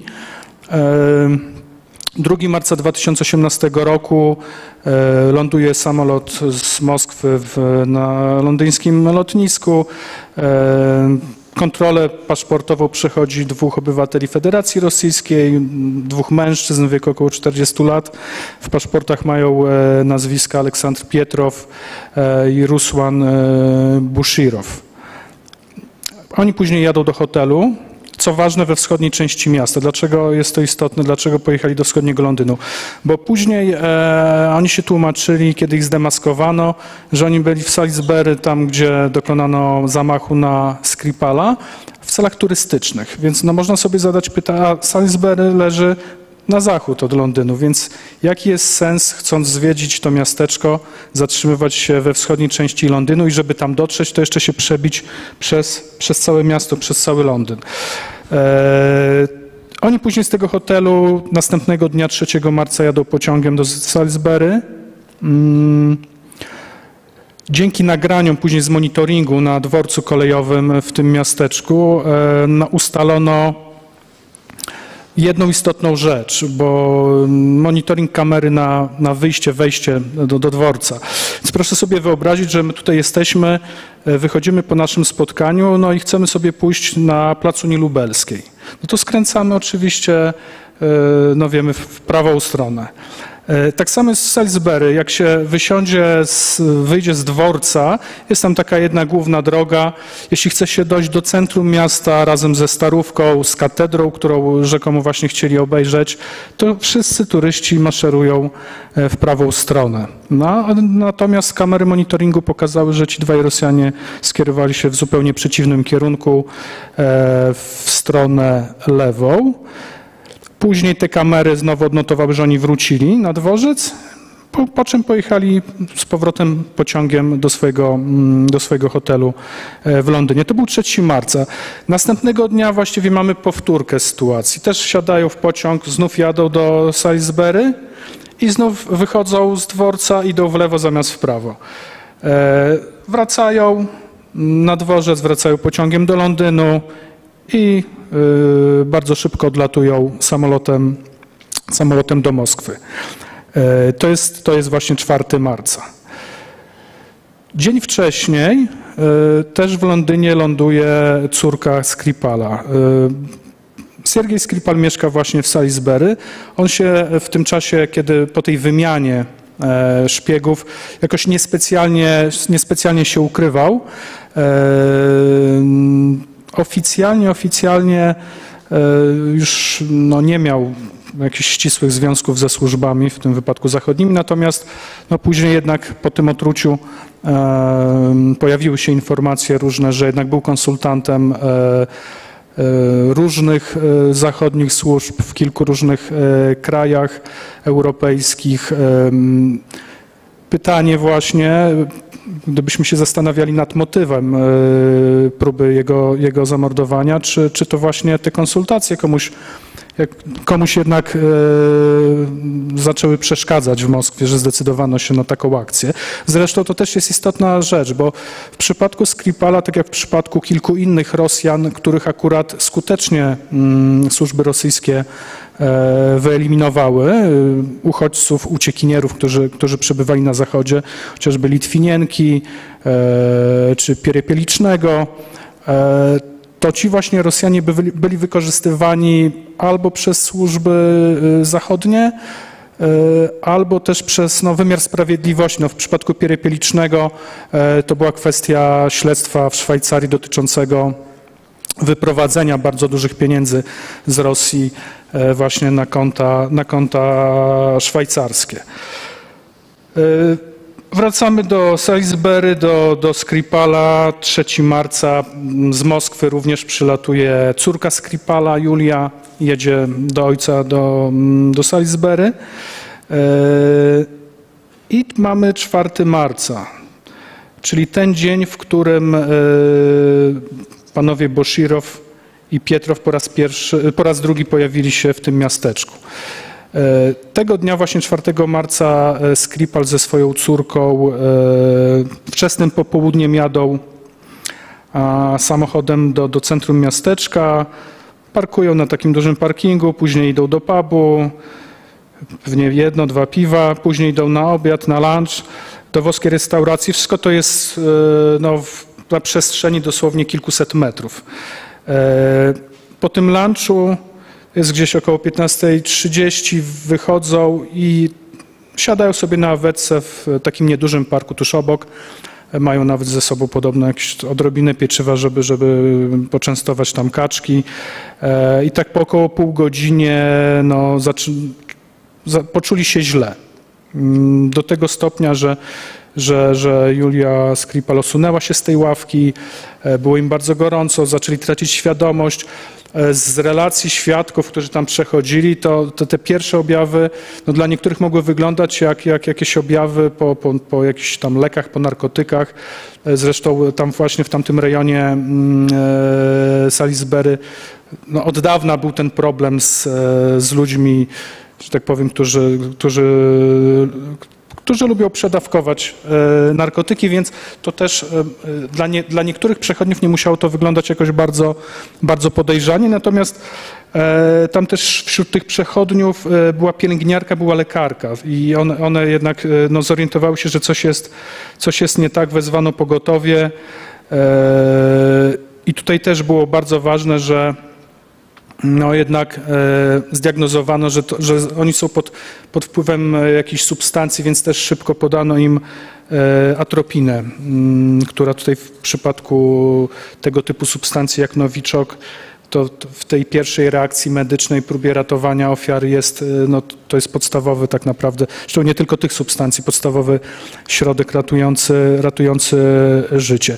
No w każdym razie Skripal z córką trafiają do szpitala, No, policja orientuje się, że coś jest nie tak, wysyła ekipę do jego domu. E, Później, niedługo później, e, dwóch funkcjonariuszy policji z tej ekipy też się poczuło bardzo źle. E, Z tego co wiemy, no jednak po jakimś czasie Skripalowie dochodzą do siebie. No później ślad oczywiście po nich znika. No pojawiały się niedawno doniesienia, że, że rzekomo po zmianie tożsamości, że osiedli w Nowej Zelandii, ale z kolei nowozelandzkie media temu zaprzeczały, więc nie wiemy, nie wiemy tak naprawdę, e, gdzie oni się teraz znajdują. Mogłoby się wydawać, że akcja spaliła na panewce w tym sensie, że y, no, wszyscy przeżyli. No, właśnie nie do końca. To jednak była ofiara śmiertelna tej rosyjskiej operacji. Em, Ofiara przypadkowa. To też taki bardzo nieszczęśliwy zbieg okoliczności dla, dla tej osoby, która, która jednak zmarła, bo to też co istotne, do akcji przeciwko Skripalom doszło na początku marca, natomiast pod koniec czerwca tego samego roku e, no, źle się poczuli, podobne objawy, mm, e, podobne objawy mieli, e, miało dwoje mieszkańców pobliskiego miasteczka, mężczyzna i kobieta. Ta kobieta trafiła w złym stanie do szpitala i, i niestety zmarła. Co się okazało? I ona i ten jej, e, nie wiem, przyjaciel, partner, no, e, mówi, mówi się o nich, że no, pochodzili troszkę z takiego marginesu społecznego. No i ten, ten, ten, ten mężczyzna, Charlie Rowley, e, no, miał zwyczaj czasami, że tak powiem, grzebać po prostu w śmieciach, w koszach na śmiecie nawet. I właśnie nie pamiętał oczywiście, kiedy to dokładnie było, ale tak mniej więcej przed 27 czerwca znalazł opakowanie, buteleczkę perfum, które wyglądały na oryginalne, marka e, Nina Ricci. No i on te perfumy, no bo wyglądało to, że może ktoś to wyrzucił przez przypadek lub nie, podarował e, te perfumy właśnie pani e, Dawn Sturges. No ona ich użyła i się zdziwiła, bo nie miały żadnego zapachu. No ale niestety, e, niestety to spowodowało, e, że, no, że kilka dni później, kilka dni później zmarła. E, Więc tak naprawdę mamy tutaj też ofiarę śmiertelną, aczkolwiek to nie jest ta ofiara śmiertelna, e, którą e, chcieliby widzieć Rosjanie. Jeszcze jedna rzecz, ci dwaj Rosjanie, o których wspominałem, którzy tam przyjechali do tego Londynu, dwa razy pojechali do Salisbury, oni zostali zident- zidentyfikowani. Okazało się, że to są oficerowie Gieru. Jeden nazywa się Anatolij Czepiga, drugi Aleksandr Myszkin. E, znaleziono też nieduże ślady e, Nowiczoka w pokoju hotelowym, e, w którym się zatrzymali. I teraz pytanie, mm, co się wydarzyło właśnie tego 4 marca? przed południem, kiedy, kiedy, kiedy oni tam po raz drugi się pojawili. Otóż, tak jak wspominałem wcześniej, jeśli się w Salisbury pójdzie w lewo od, z wyjścia z dworca kolejowego, to się właśnie dochodzi do takiej dzielnicy niedużych domków e, i właśnie w tej dzielnicy e, mieszkał Skripal. E, Co oni zrobili? Pokryli po prostu tym nowiczokiem, który miał formę żelu, klamkę, mm, klamkę do drzwi, do domu. I generalnie chodziło o to, że, że ofiara dotykając, otwierając, otwierając drzwi do domu, jej skóra wejdzie w kontakt z tą trucizną i, i no w efekcie, w efekcie później mam... Jak ja dobrze pamiętam, y, zarażonych tym nowiczokiem było więcej przypadkowych osób. Tam mm, E, No Dobrze chociażby, chociażby, tak jak wspomniałem, ta ekipa policyjna, która przyjechała Tak, do tego tak, domu tak, i tak. dotykała tam różnych rzeczy. Trzeba pamiętać o tym, że kiedy Skripal i jego córka e, dotykali tej klamki, wchodząc do tego domu, no to oni później dotykali różnych rzeczy też e, w środku.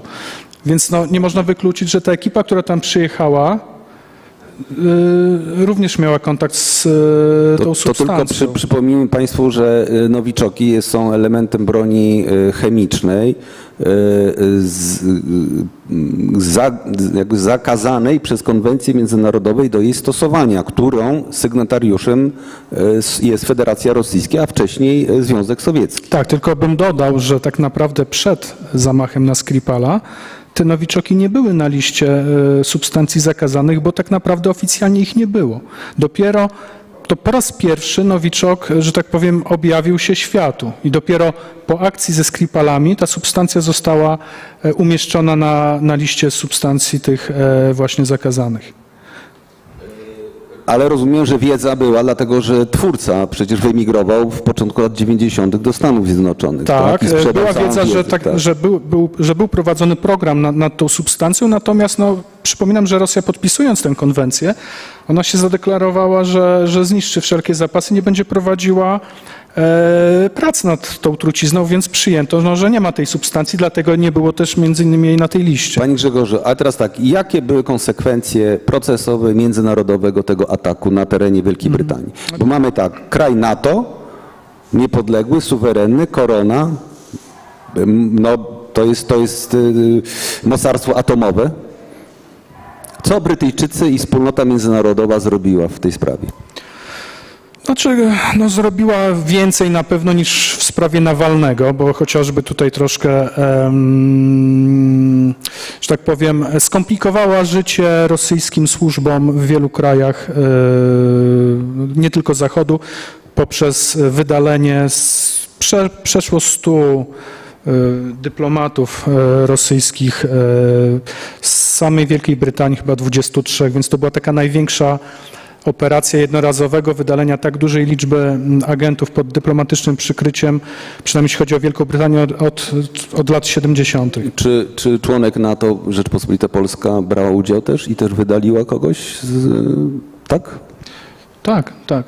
Zresztą, zresztą e, to jest też ciekawe, bo, bo później ta sprawa e, to, i wiedza, którą uzyskały polskie służby, ona później e, pewną rolę odegrała przy identyfikacji e, też oficerów GIER-u, którzy, którzy próbowali przeprowadzić e, pucz na Bałkanach w Czarnogórze. Jeszcze jedna rzecz, właśnie dzięki tej, dzięki tej sprawie Skripala wróciła, wróciła starsza historia, bo okazuje się, że tak naprawdę wygląda na to, że Nowiczoka, nie, przynajmniej e, rosyjskie służby przeciwko celom na terytorium Unii Europejskiej czy NATO użyły e, już wcześniej. Chodzi o próbę zabójstwa bułgarskiego handlarza bronią, może handlarza też, ale no, właściciela zakładów pewnych zbrojeniowych, takich niedużych e, w Bułgarii, Emiliana Gebrewa, który kilka lat wcześniej e, też się źle poczuł, e, no wtedy tego nie, nie zidentyfikowano, prawda? E, On, on, on przeżył, jego syn, jego współpracownik biznesowy też, też e, to przeszli, natomiast to sobie przypomniano w momencie, kiedy, kiedy wypłynęła sprawa, e, wypłynęła, wypłynęła sprawa Skripala, tym bardziej, że ustalono, że jeden z oficerów GRU biorących udział w operacji przeciwko Skripalowi, bo oczywiście no, trzeba pamiętać o tym, że to nie jest tak, że, że w sprawę było zaangażowanych tylko tych dwóch panów. E, Tam no, cały zespół nad tym pracował. Jeden z tych oficerów zidentyfikowanych w operacji przeciwko Skripalowi okazało się, że on też przyjeżdżał do Bułgarii właśnie w tym czasie, kiedy doszło do e, zamachu na, na tego handlarza bronią Gebrewa. I teraz też przy okazji Nawalnego e, no, specjaliści z Niemiec chociażby prowadzący śledztwo, oni też się zwracali do bułgarskiego wymiaru sprawiedliwości, e, konsultowali się, no wiadomo kontekst jest podobny, bo, bo trucizna jest ta sama. E, no w każdym bądź razie w Bułgarii też wskazano konkretnych ludzi, e, e, obywateli Rosji i oficerów Gieru, e, których e, bułgarski wymiar sprawiedliwości wiąże z, z, z tym zamachem na Gebrewa. I jeszcze wracając do tych konsekwencji prawnych, no oczywiście zaocznie po- postawiono w stan oskarżenia obu tych Rosjan, e, postawił ich wymiar sprawiedliwości brytyjski, natomiast oni byli początkowo, Rosjanie zagrali nawet w ten sposób, że ich pokazali w telewizji, zrobili z nimi wywiad, oni tam tłumaczyli, że oni byli tylko turystycznie, generalnie handlują jakimiś suplementami diety, zasugerowano, że są parą gejów, tak w ogóle, a w Salisbury byli, żeby obejrzeć sobie wieżę Katery. Tylko mówię, no tak się złożyło, że dwa razy jakoś zawsze szli w lewo, ostatecznie- a jeszcze dodam, e, to nie mogło być tak, że oni mogli sobie pójść tam w lewo i później gdzieś tam naokoło płotkami przyjść obejrzeć katedrę, bo jak się sprawdzi też, ile się mniej więcej spacerem idzie od y, dworca do domu Skripala tam i z powrotem, to byłoby po prostu y, niemożliwe, żeby to zrobili. Ale to, to tak, rząd Federacji Rosyjskiej odmówił ekstradycji tych dwóch zbrodniarzy, tak. E, Pamiętam mocne oświadczenie y, głównych rządów państw, włącznie ze Stanami Zjednoczonymi, Kanadą, Francją, Niemcami, takie bardzo pochukujące. No dobrze, ale y, czy Rosjanie wyszli z tego bez strat? Panowie? Czy oprócz tych strat związanych z wydaleniem e, podejrzewanych o działalność szpiegowską dyplomatów, łącznie tam czy ponad 100, e, czy, czy jeszcze jakieś straty y, Rosjanie? Jeśli ja bym mógł dodać, znaczy strata jest chyba taka, że to od czasów e, akcji przeciwko Skripalowi e, cała ta aktywność e, rosyjskich służb e, w- w sensie tej mokrej roboty powiedzmy stała się bardzo medialna. e, W mediach zachodnich bardzo dużo się od tamtej pory o tym pisze. Jest bardzo dużo publikacji, e, różnych informacji na temat e, aktywności Rosjan. Czy to jest wystarczające środki prewencyjne, panie Bolesławie, do tego, żeby przeciwdziałać, by na terytorium państw NATO, mocarstwie atomowym, Rosjanie robili co chcą, jak chcą i z kim chcą? Ja bym powiedział tak, że moim zdaniem to nie jest przypadek, y, że za te wszystkie akcje, które są y, najbardziej widowiskowe, odpowiada GRU. Wszystko jedno, czy patrzymy na, na południe Europy, czy na y, Wielką Brytanię. I dlatego byłbym ostrożny z zapisywaniem po stronie e, strat to, że zachodnia opinia publiczna patrzy na GRU, zwłaszcza, że pamiętajmy, że patrzy właśnie przede wszystkim na GRU. Tak samo te rzeczy, za które, gdzie ewidentnie złapano Rosjan za rękę w Stanach Zjednoczonych, to też jakimś dziwnym przypadkiem jest akurat GRU, gdzie już w tym przypadku mówimy o o e, wywiadzie stricte politycznym, który e, do tej pory był oczywiście w przedtem w pierwszym zarządzie głównym, a później w e, SWR-ze. Nie, m, Myślę, że, y, że reakcja y, prowokowana przede wszystkim przez y, rząd jej królewskiej mości, panią premier Theresa May, która za czasów Litwinienka był, Litwinienki była ministrem spraw wewnętrznych i była jedną z głównych osób, która ukręciła publicznie tą sprawę. Teraz była jedną z głównych osób, która ją podnosiła i wydalenie ponad stu kilkudziesięciu dyplomatów to jest największe wydalenie w historii w ogóle. Przedtem to też Brytyjczycy i 71 rok i operacja Food. W przypadku operacji Food, gdzie wyrzucono stu kilku, stu pięciu dokładnie za, y, zagrożono, że wyrzucą jeszcze y, sto i, i, i później może być trzecia transza, że tak powiem. Wiemy już, że część z op- pracy operacyjnej, która po prostu zawsze jest to wyrwa dla pracy operacyjnej, została przejęta przez służby zależne od y, KGB bloku wschodniego. Teraz wydalenie 150 y, paru dyplomatów, zresztą ciekawa to jest chyba historia z Nowej Zelandii, która powiedziała, że chętnie by się bardzo przyłączyła do wydalenia, ale nie znalazła nikogo, kogo mogłaby wydalić, ale jak znajdzie, to, to wydali. Ale ogólnie chciałaby się, przypominam, Nowa Zelandia jest jednym z państw Sojusza Pięciorgo, Pięciorga Oczu. Yy, I yy, taki, taka wyrwa pod względem, nazwijmy to stricte operacyjnym, 150 parę osób, zakładamy także e, większą opiekę e, kontrwywiadowczą. E, Nie jest moim zdaniem jakaś łatwa do, do przeskoczenia od razu. Nie jestem przekonany z, z powodów formalnych, logistycznych, operacyjnych, przekazań agentury i tak dalej. Nie jestem przekonany, że Rosjanie byli na to tak od razu gotowi.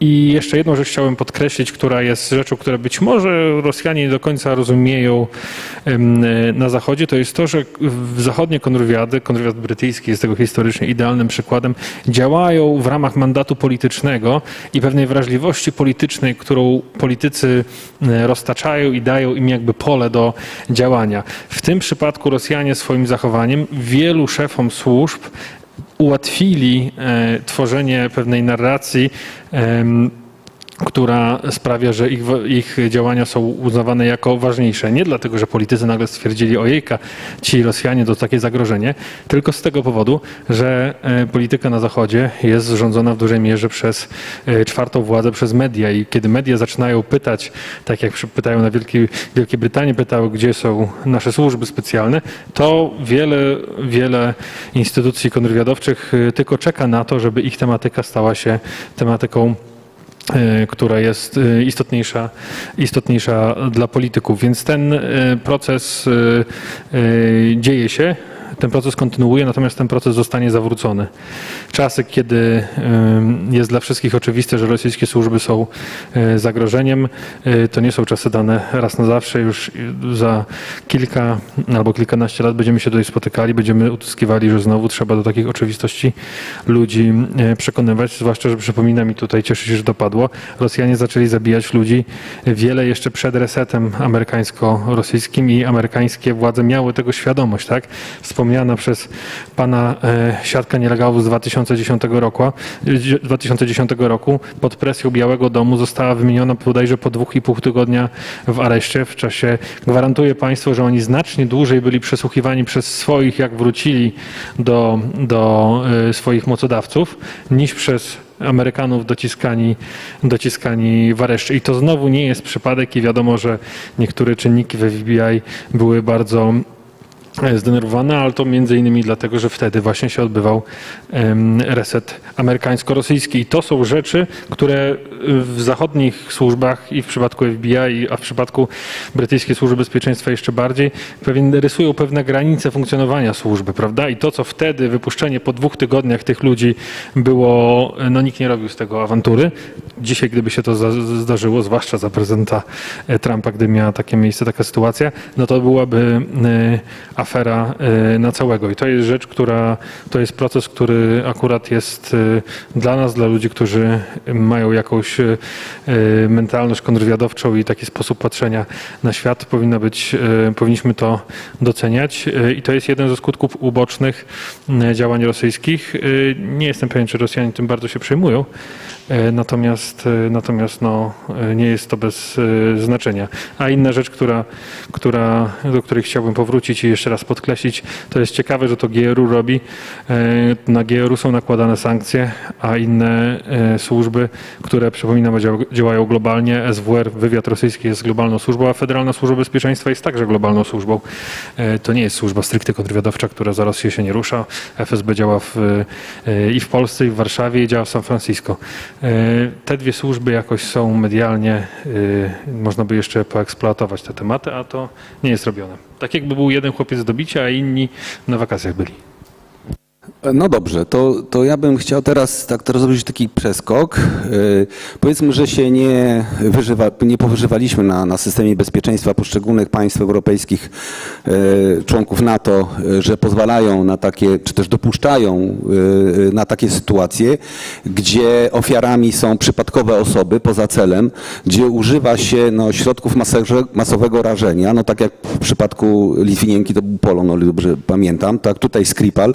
Znaczy w przypadku Skripala mamy nowiczoki, broń chemiczna jednak za, za, zakazana. Y, Ale ja bym mm, no, przeszedł na nasze pole, na pole, na terytorium i system bezpieczeństwa y, Rzeczypospolitej Polskiej. No, tak, tak się jeszcze złożyło, że albo to nie, nie mieliśmy tego typu wypadków, y, że Rosjanie sobie za cel y, wzięli, wzięli znaczy y, służby, osoby, które tu przebywały, czy przebywają, czy mia, miały przebywać, y, y, i zastosowały tego typu y, środki, czy też, jakby to powiedzieć, no, mm, mm, e, może o tym nie wiemy, tak, czy takie sytuacje miały miejsce, ale tą naszą dyskusję o nas, tak, jaki, jak system nasz powinien kontrwywiadowczy, system służb specjalnych wyglądać, by prewencyjnie przeciwdziałać, e, a może aktywnie przeciwdziałać e, takim zjawiskom w przyszłości, które najprawdopodobniej w jakiejś perspektywie czasowej e, opinia publiczna może się o takich wypadkach dowie, na przykład z przeszłości albo z tego, co się wydarzy. Ale zacytuję może e, naszego ulubieńca pułkownika Ignacego Matuszewskiego, dobrze? I niech on będzie e, takim duchem i to, co, to, co, to, co opublikował e, w Słowie w styczniu 40 roku. To jest fragment. I tu zaczyna się walka z przekleństwem naszej historii, podejmowana przez nas i przegrywana powielokroć. Tu ponownie stajemy przed koniecznością odkupienia winy, jaką ponosimy wobec świata. Winy tego, że nie potrafiliśmy pogodzić wolności z siłą, że zawsze umieliśmy walczyć, nie zawsze zwyciężać, że zawsze umieliśmy ginąć, nie zawsze zabijać. Pułkownik Ignacy Matuszewski.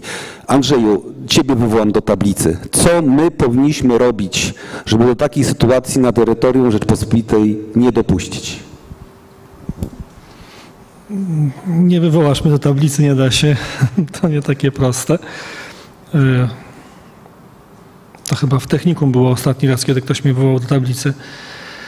Y, Drodzy Państwo, y, jednak ja bym się upierał, że jak przypomnimy sobie seryjnego samobójcę w Polsce, który krążył i ginęli różni ludzie w ciągu ostatnich lat,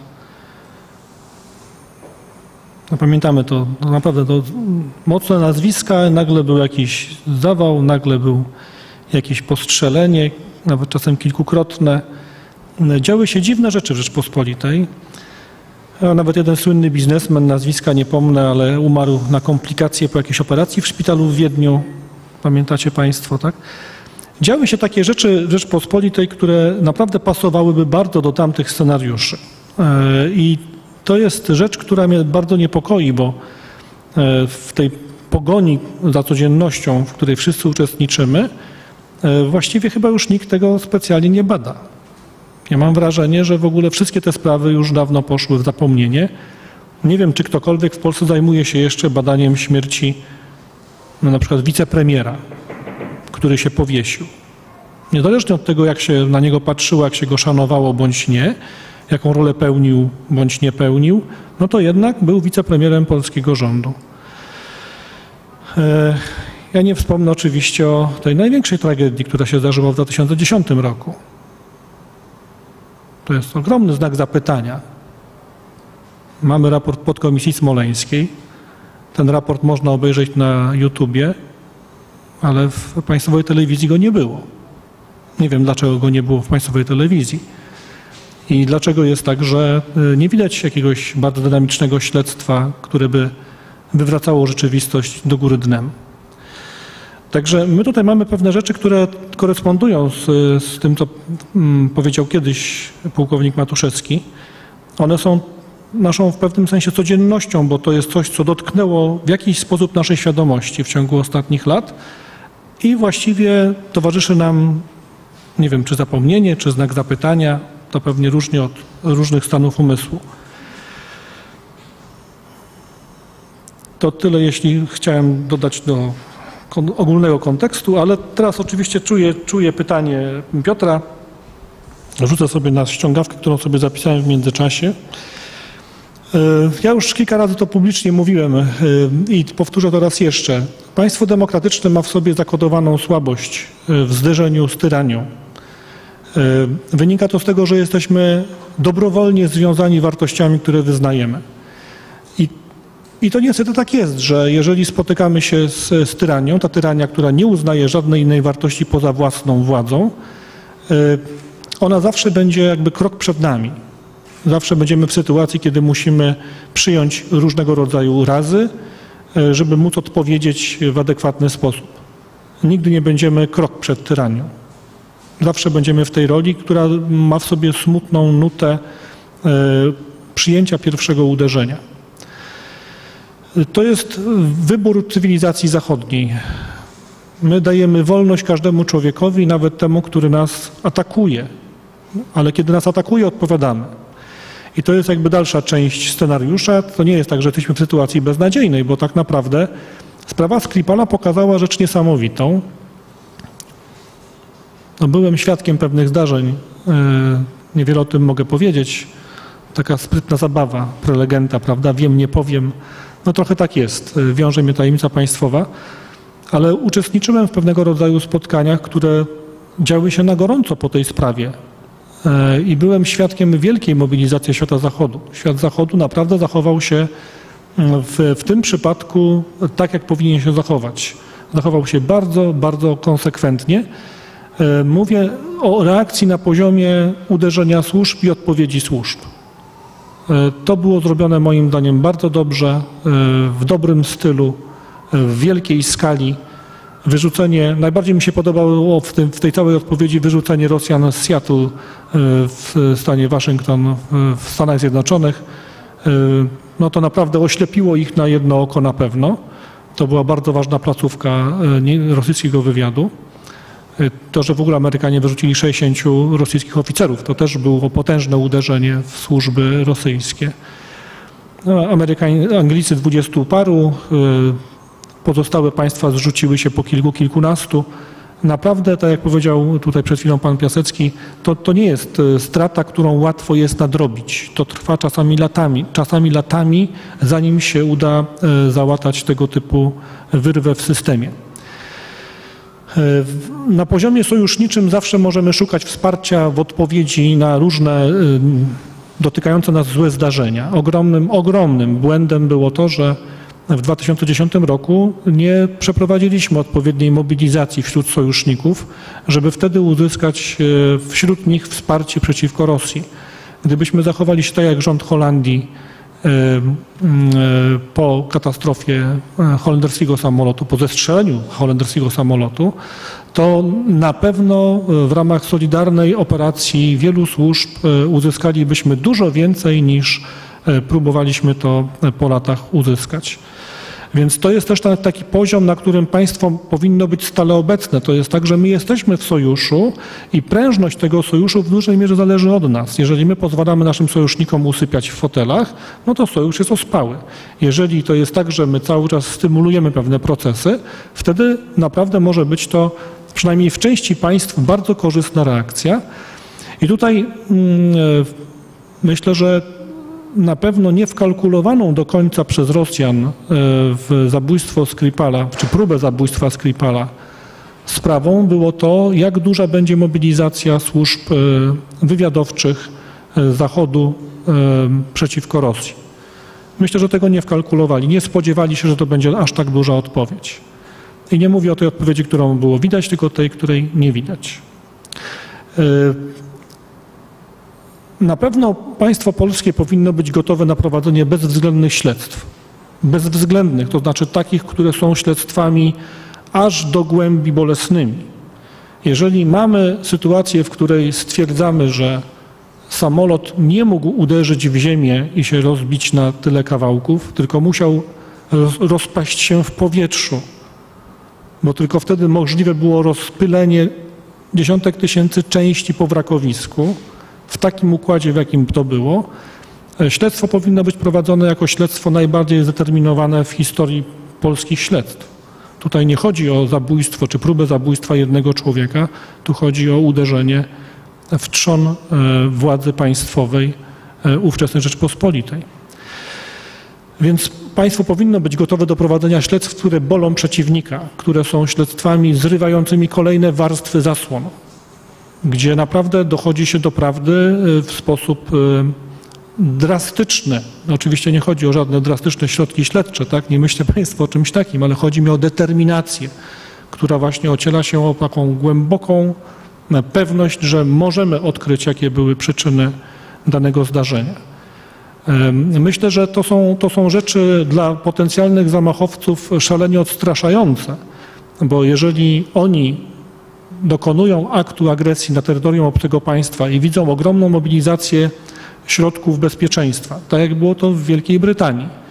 E, Co więcej, jeszcze skutkiem e, działań Wielkiej Brytanii, skutkiem działań śledczych Wielkiej Brytanii było powstanie takich inicjatyw, czy zaktywizowanie takich inicjatyw jak Bellingcat, które e, rozpoczęły bardzo drobiazgowe własne, prywatne śledztwa dotyczące działalności rosyjskiego wywiadu na terenie Wielkiej Brytanii. No, to są potem skutki, które są, długo, które są długofalowe, które są bardzo też bolesne, bo jeżeli e, szef GRU e, z prasy dowiadywał się o tym, e, że jego zamaskowani oficerowie nazywają się naprawdę tak, a ich życiorysy wyglądają tak, a byli w szkole tu, a jeździli takim samochodem, to dla szefa GRU nie była to komfortowa sytuacja. Dla Putina na pewno też nie. Zresztą doskonale pamię- pa- pamiętacie Państwo, że tutaj pan, pan Grzegorz mówił nam o tym, że e, w, w lipcu jest to ten, ten wypadek śmiertelny, prawda, kiedy człowiek umiera w związku, ta pani umiera w związku z kontaktem z Nowiczokiem, a we wrześniu szef GRU poczuł się słabo i rozpoczął się proces jego długotrwałej choroby, w wyniku której zmarł w listopadzie.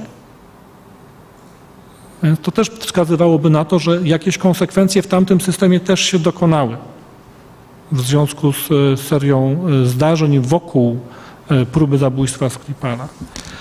No i ostatnia rzecz, o której warto powiedzieć, to jest to, że Polska potrzebuje bardzo silnego kontrwywiadu, który byłby służbą e, naprawdę jeszcze do tej pory w Polsce nie skonstruowaną. E, Nie mamy w Polsce kontrwywiadu takiego, takiego jakiego potrzebujemy, czyli służby, która byłaby oderwana od działalności dochodzeniowo-śledczej, która byłaby poświęcona głównie prowadzeniu operacji na poziomie zbierania informacji o przeciwniku i rozpoznawania jego e, aktywności w Polsce i służby, która byłaby niezwiązana z żadnymi innymi pobocznymi zadaniami.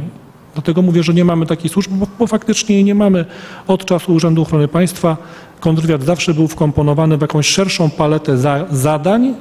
E, W tej chwili też tak jest, że po stronie zarówno Służby Kontrwywiadu Wojskowego, jak i Agencji Bezpieczeństwa Wewnętrznego kontrwywiad jest wplątany w mnóstwo różnych dodatkowych y, działań, po części nawet administracyjnych, w których musi uczestniczyć, a które bardzo krępują jego działalność i które też oczywiście po prostu wysysają siły e, z tych zespołów ludzkich i nie mogą oni pracować y, właściwie, no można powiedzieć, adekwatnie do skali zagrożeń.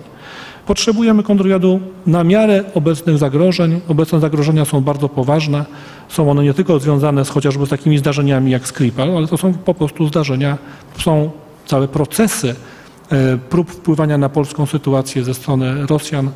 E, Być może, być może oczywiście mamy do czynienia z takimi sytuacjami e, mm, częściej niż o tym myślimy kiedy różnego rodzaju ośrodki zagraniczne, głównie ze strony wschodniej, próbują w Polsce inspirować procesy, które są procesami bardzo destrukcyjnymi dla państwowości polskiej. No bo jak doskonale Państwo wiecie, głównym celem rosyjskich służb specjalnych od stulecia nie jest zabicie człowieka bądź zniszczenie jakiegoś organizmu państwowego, tylko w ogóle podważenie sensowności istnienia demokracji w kształcie zachodnim. To jest najważniejszy cel operacyjny e, tych e, służb. Dlatego e, potrzebujemy służby, która byłaby w stanie odpowiedzieć na tego typu zagrożenia. Tak pokrótce odpowiedziałbym na Pana pytanie. Bardzo proszę, panie Piotrze. Tak, oczywiście, że tak. Tak, to pełna zgoda. Y, To też od razu mi się skojarzyło jedno, bo może coś optymistycznego powiemy.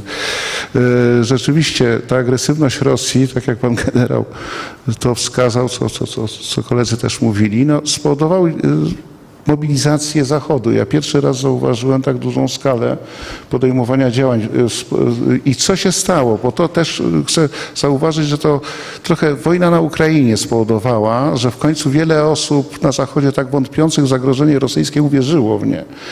E, Tutaj przełamano wielokrotnie linię obrony rosyjskiej, jeżeli chodzi o ochronę informacji niejawnych. I to jest oczywiście to inwestowanie w e, sferę cyber rozpoznania, tak to określę, kiedy y, jednak trzeba duże środki zaangażować, żeby móc z sieci wydobyć dane wrażliwe, osobowe ludzi zaangażowanych, pracujących w ogóle w służbach specjalnych. I tutaj, co ciekawe, ten system rosyjski nie jest wcale, ochrony danych nie jest wcale idealny. Jest do przełamania i czasami sposób, czasami uważam bardzo śmieszny, bo jeżeli chodzi o właśnie chyba naszych bohaterów Salisbury, to dotyczyło to wycieku danych numerów rejestracyjnych i właścicieli e, samochodów w Moskwie. I tak ustalono adresy, skojarzono zdjęcia. Co do kontrwywiadu, ja ostatnio e, miałem takie zadanie zawodowe, czyli musiałem zapoznać się e, z nową ustawą podpisaną na Ukrainie o wspólnocie wy- e, wywiadowczej. To jest efekt wieloletnich prac, oczywiście pod e, presją e, e, amerykańskich i zachodnich doradców, żeby uporządkować sprawy systemu bezpieczeństwa na Ukrainie. Prezydent Zełański podpisał tą ustawę, ale ja nie chcę o tej ustawie mówić, chcę tylko zwrócić na jeden, jeden element. Tam się znalazł bardzo ciekawy zapis właśnie w kontekście kontrwywiadu.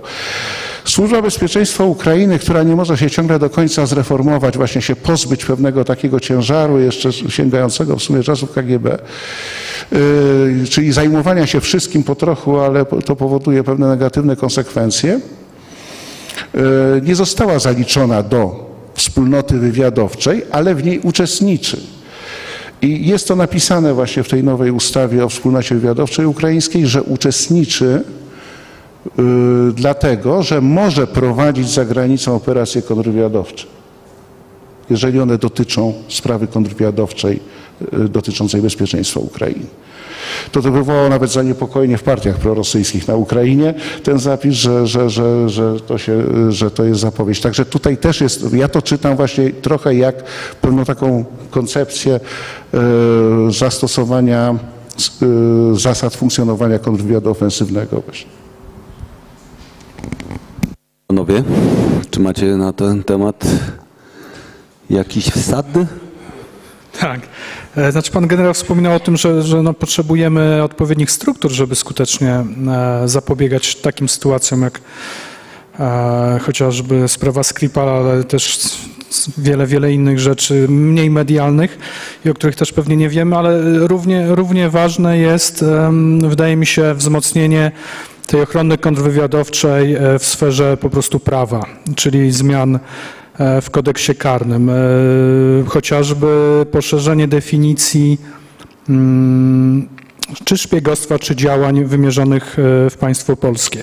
Ja zawsze jako przykład podaję Estonię, która ma, jak porównamy paragrafy w polskim kodeksie karnym i w estońskim dotyczące tych kwestii, no to, to jest jednak różnica. Dzięki temu oni dużo skuteczniej mogą e, nawet takie miękkie formy e, działania przeciwko państwu estońskiemu mogą skutecznie po prostu ścigać, eliminować. I efektem, efekt jest taki, że po prostu też skazują lub wyrzucają z kraju ludzi, którzy popełnili takie rzeczy, za które w Polsce no, nie mogliby w ogóle, nie musieli, nie, nie postawieni by byli przed sądem, bo, bo jest, jest po prostu inne prawo. Więc biorąc zwłaszcza pod uwagę to, że, że ten a, ta charakter działalności wywiadowczej e, wymierzonej w jakieś inne państwo zmienia się, to, to, to już nie są te czasy powiedzmy sprzed 50 czy tym bardziej 100 lat, E, tym bardziej to prawo powinno nadążać za e, po prostu za, za rzeczywistością i jeśli my tutaj raczej mówiliśmy o takim, takich twardych mm, operacjach służb rosyjskich, to, to trzeba pamiętać, że, że te twarde operacje, one są też obudowane e, aktywnością, powiedzmy taką miękką. No w przypadku, powiedzmy, otrucia Skripala, no to mieliśmy akcję, tutaj przeprowadzenie, przeprowadzenie zamachu, próba otrucia, ale temu towarzyszyła gigantyczna też operacja informacyjna. E, Ona była też możliwa dzięki temu, chociażby teraz wrócę, się, wrócę z kolei do czasów Litwinienki, że można było e, wykorzystać swoje, mm, swoich agentów wpływu, e, chociażby w mediach na Zachodzie, do przeprowadzenia e, no, jakichś działań dezinformacyjnych, e, czy wprowadzenia, zwiększenia szumu informacyjnego wobec podrzucania fałszywych tropów i tak dalej, i tak w tych sprawach. Więc e, możliwość ścigania i eliminowania tego typu działalności, tego typu ludzi zapisana w polskim prawie, no to- ona generalnie też no, przekłada się na osłabienie skuteczności tych działań, powiedzmy, twardych. Ja niestety, to nie jest dobry znak na dyskusję, ale zgadzam się z przedmówcami i bym rozwinął trochę mm, to, y, o czym mówił pan generał. To jest rzecz, którą już napisałem, więc mogę równie dobrze to powiedzieć. Y, Polsce, mówiąc pokrótce, jest potrzebny kontrwywiad. Jest potrzebna Narodowa Służba Kontrwywiadu, służba, która będzie się zajmowała przede wszystkim kontrwywiadem. Jeżeli kontrwywiad jest działalnością dodatkową, jeżeli kontrwywiad jest czymś, co jest, no to, tym, to wy będziecie się zajmować kontrwywiadem, oprócz tego e, VAT-em, samochodami, narkotykami, sprawdzaniem tysięcy osób i e, jeszcze e, prewencją terrorystyczną, to znaczy, że kontrwywiad nie jest robiony. Można wchodzić długo w to, dlaczego tak jest, dlaczego jest taka natura biurokracji i tak dalej. Natomiast kontrwywiad jest wtedy robiony, kiedy mamy służbę, która jest służbą po pierwsze stricte z, y, nazwijmy to, świata służb specjalnych, a nie świata służb policyjnych.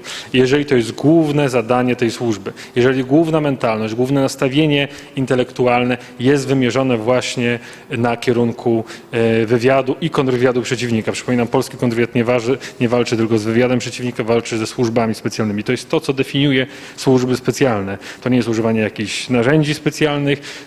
Służby specjalne definiuje to, że walczą ze służbami specjalnymi e, przeciwnika. W jaki sposób walczą, to może temat na inne spotkanie. E, Natomiast ja osobiście jestem przekonany i też historia na to wskazuje, bo były takie rzeczy robione na, za- na Zachodzie, że ofensywność, proaktywność, podnoszenie progu wejścia e, jest, e, czyli odwrócenie pewnej logiki, w której kontrwywiad bawi się w, w, mm, w taką no, ciuciu babkę z wywiadem przeciwnika, odwrócenie logiki, w której przeciwnik musi popełnić błąd, żeby kontrwywiad mógł mm, mógł e, go złapać, no jest absolutnie konieczne i w tym jest też to, o czym mówił, o czym mówił e, pan Żochowski e, w kontrwywiadzie ofensywnym i zobaczymy, że tam, gdzie Rosjanie go robią, tam są skuteczni, tam, gdzie Brytyjczycy, tam, gdzie Amerykanie go robią, to jest wielokrotnie zostało, że tak powiem, na poziomie teorii i historii udowodnione i zgadzam się też z kolegą Kuczyńskim. Drodzy Państwo, e, 130 artykuł kodeksu karnego jest tak skonstruowany, że w Polsce szpiegostwo się opłaca. Naprawdę w Polsce szpiegostwo się opłaca. Moment, w którym sankcja jest tak niska, jak jest realna, e, gdzie 25 lat jest zakierowanie i siatkę, gdzie w obecnych warunkach tu e, po pierwsze nikt nie będzie tak pracował, a po drugie nikt tego nie udowodni przed sądem. E, Moment, w którym jest, jest tak nis- niska sankcja, jest momentem, w którym werbownik podchodzący do, do urzędnika może mu po prostu przedstawić logiczny wywód, w ramach którego zdrada RP mu się opłaca, ponieważ nie jest e, traktowana tak naprawdę jako zdrada stanu, nie ma kary dożywocia, e, tak jak powinno być. Innymi słowy, 130 artykuł i praktyka jego stosowania przez sądy w Polsce nie ma żadnej wartości, e, wartości odstraszania, tak jak wiele spraw estońskich na przykład ma, ma wa- walor prewencyjny. I to są te rzeczy, te obudowanie kontrwywiadu, natomiast moim zdaniem istotą jest i jakby nie przeskoczymy tego, dopóki w Polsce nie powstanie e, przy całym szacunku e, pracy ludzi, którzy naprawdę pracują e, w, w tych mm, nielicznych niestety procentowo, jeżeli chodzi o to, jak duże jest, są te instytucje w miejscach zajmujących się kontrwywiadem, przy całym szacunku dla ich pracy, dopóki nie powstanie instytucjonalny kontrwywiad, służba unitarna, nie z dodatkiem wywiadu i innych rzeczy, tylko służba unitarna, która się zajmuje kontrwywiadem, która nie jest ograniczona do kwestii e, administracyjnych, która nie jest ograniczona do działania na terytorium RP w praktyce, dopóty będziemy mieli bardzo trudno e, znaleźć nie tyle odpowiedź, co narzędzia, za pomocą których możemy w ogóle tą odpowiedź na przeciwniku skonstruować. I tutaj swój wywód bym skończył e, stwierdzeniem, byłego e, ministra obrony narodowej, który zwykł mawiać, że e, służby specjalne rosyjskie można zwalczać, można zwalczać sukcesami, tylko trzeba zacząć to robić. Jak się zacznie to robić odpowiednimi narzędziami, to rzeczywiście można odnosić sukcesy. E, To nie są żadne służby e, nie do pokonania, najlepsze na świecie, niebywale w ogóle tylko się założyć, położyć i, i zawinąć w prześcieradło. Nic z tych rzeczy. To da się robić i co więcej, naszym obowiązkiem e, jako patriotów, jako osób, które które e, w tym czy innym e, aspekcie widzą to jako swoje powołanie, e, jest po prostu obowiązek, jest, jest, to jest konieczność, żeby to zrobić dla RP. Ja tu tego jeszcze dodam, jeżeli chodzi o kodeks karny, to już publicznie to było podnoszone, mm, to, że to przestępstwo szpiegostwa jest przedawnialne, prawda? W znacznych część krajach jest to przestępstwo nieprzedawnialne, tak, niepodlegające przedawnieniu. To też ma pewną formę prewencyjną, ochronną, tak, dla państwa polskiego. Ale to tak reasumując e, e, z naszej tej dyskusji w tej części, bo tak przejdziemy tylko do krótkich trzech pytań, tak, względu na, na e, terminy, jeszcze nie, nie skończyliśmy, jest takie, że, bo to żeby dobrze zrozumieć, tak, jakby mm, walcząc z tą, tym skrajną bezczelnością Rosjan na swoim terenie, polegającą na likwidacji celów, walczymy generalnie z całym systemem agresywnym służb specjalnych rosyjskich i tego, co wszystko to wypełnia. To jest tylko taki symbol, to jest taka forpoczta tego. To, to, to wa ważno mentalnie jest od tego zacząć, jak przeciwdziałać, reagować nawet ex post factum na, na takie wydarzenia na własnym terytorium e, państwa. I tu rozumiem, że Brytyjczycy no, po raz wtóry w historii zdali e, egzamin z tego, bo chyba są najbardziej pod tym względem bezwzględnym,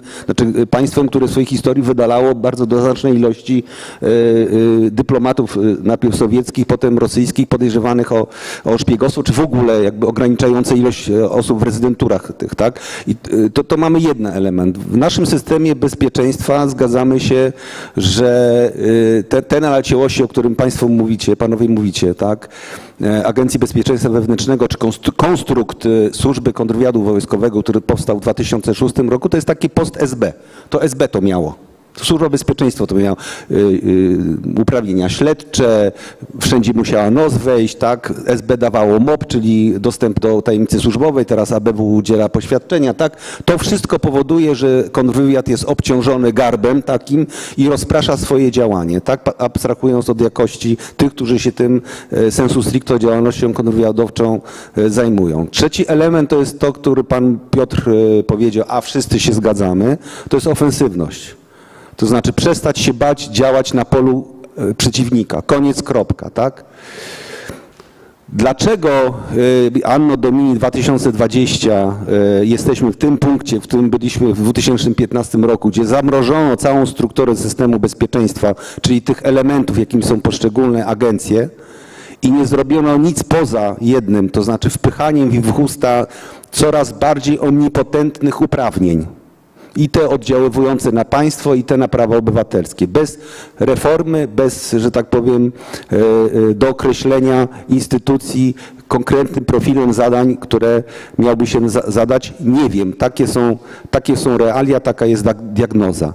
Niemniej te, te przypadki, proszę Państwa, o których y, powiedzieliśmy, czy w ogóle o filozofii działalności rosyjskich służb, gdzie dla nich życie nie ma znaczenia, jest tylko po prostym środkiem do osiągnięcia, celu, czyli jakby pozbawienie kogoś tego życia, pokazuje z jakim bezwzględnym y, przeciwnikiem mamy do czynienia. I ja myślę, y, Andrzeju, że te wspólnie wyznawane wartości, które u- uważasz za z definicji sytuujące nas w słabszym punkcie walki, e, nie jest tak, że nie dopuszczają e, w ekstremalnych sytuacjach no, odważne i działania ofensywne, tak? Jak sama w ogóle idea w chrześcijaństwie chociażby wojny sprawiedliwej, którą ja uważam, mieści się też wojna sprawiedliwa perwencyjna. A tą wojnę można na różnych płaszczyznach e, e, wykonywać. To tak gwoli, szanowni państwo, podsumowania, przepraszam, że, że ono jest niedoskonałe. Tutaj już e, pracownicy machają nam, żebyśmy kończyli. Trzy pytania proszę podejść do e, e, tego mikrofonu tutaj, podejść do tego mikrofonu tu, przedstawić się i zadać poszczególnym naszym uczestnikom bądź wszystkim, e, którzy tutaj są. Proszę bardzo.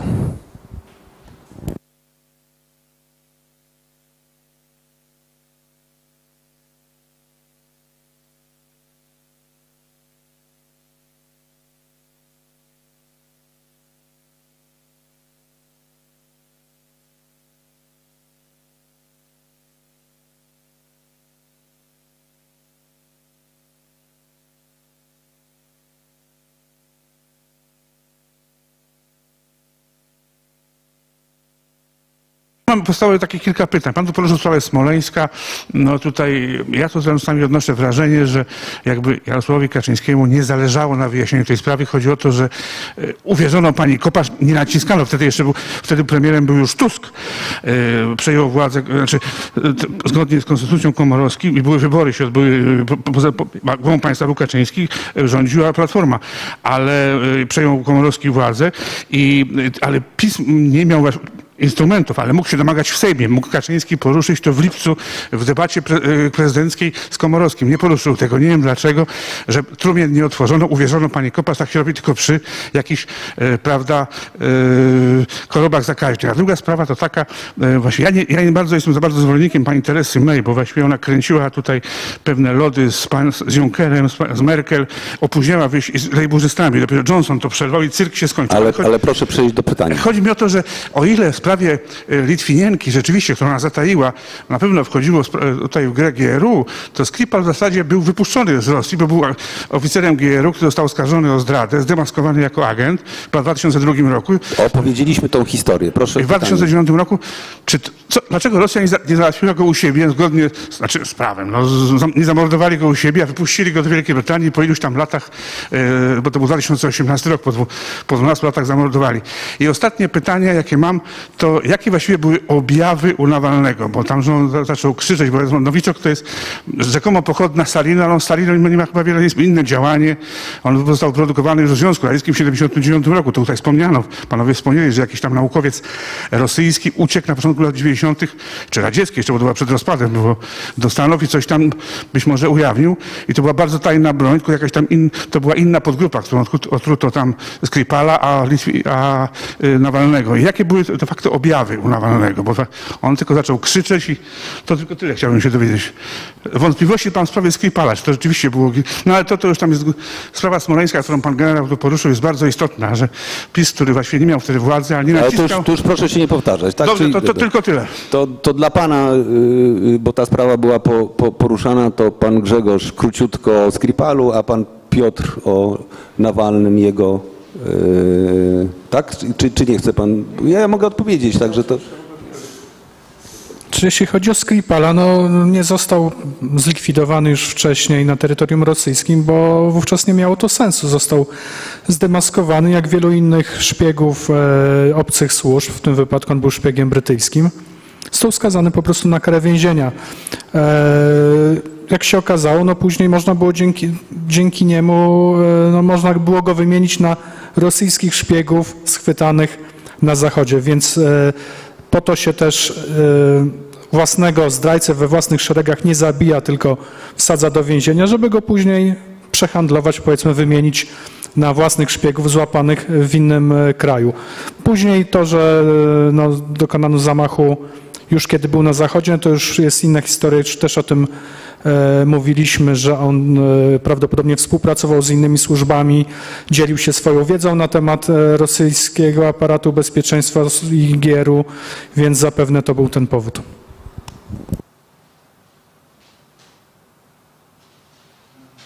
Pytanie o te, o te objawy Nawalnego. Tak, Nawalny, bo pan- znaczy ja bym, tutaj jest dla nas trochę oczywiście, znaczy z mojej pozycji, no, pracującego trochę na źródłach tylko jawnych, jest, y, pytanie jest trochę trudne, ale e, powiem tak. Ja mam wrażenie, że e, otrucie Nawalnego ujawniło kolejną mutację środka toksy, toksycznego, który jest podobny do poprzednio używanych, ale już jest inny i nawet może powodować inne skutki. Na przykład jeżeli chodzi o jego rozkład szybszy. Yy, I tutaj, o- ja nie pamiętam dokładnie objawów medycznych Nawalnego, to, było, to były po prostu objawy zapaści organizmu. Rosjanie tu próbowali oczywiście, i to też jest yy, taka, taka, taki przykład, jak, jak, jak, pracuje, jak pracuje aparat rosyjski, żeby kogoś yy, wprowadzać w błąd, yy, czyli próbowano to po prostu przedstawić jako skutek to albo, że jest cukrzykiem, albo, że nadużył alkoholu poprzedniego dnia i dostał zapaści i, i w ogóle jakieś tam ma kłopoty z przemianą materii w pewnym momencie padło.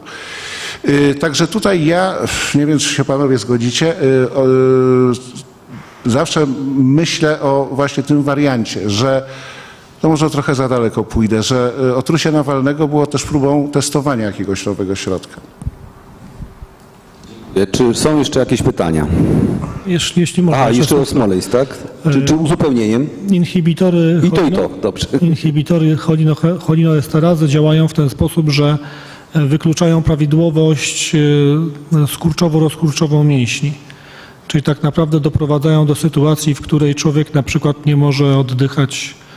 E, Wszystko to, co jest naturalnym rytmem skurczowo-rozkurczowym, jest po prostu za- zablokowane. Mogą działać bardzo krótko, mogą działać bardzo długo. Różne są tego typu środki. Niektóre są tak skomponowane, żeby e, objawy zacisku żył na przykład ustępowały po pewnym, po pewnym czasie, żeby nie można było w czasie sekcji stwierdzić, co się faktycznie wydarzyło. Także tutaj w przypadku, w przypadku e, Nawalnego na pewno były to objawy zapaści. Bardzo. Czy są pytania? Nie ma? Ja jeszcze tylko, zanim zakończę, yy, yy, to chciałem tak tytułem uzupełnienia w, w tym kalendarzu propozycji porządków co do systemu bezpieczeństwa Polski, która miałaby za zadanie wzmocnić naszą obronę przed takimi agresywnymi działaniami Rosjan. Otóż myśmy nie zrobili porządku z przeszłością.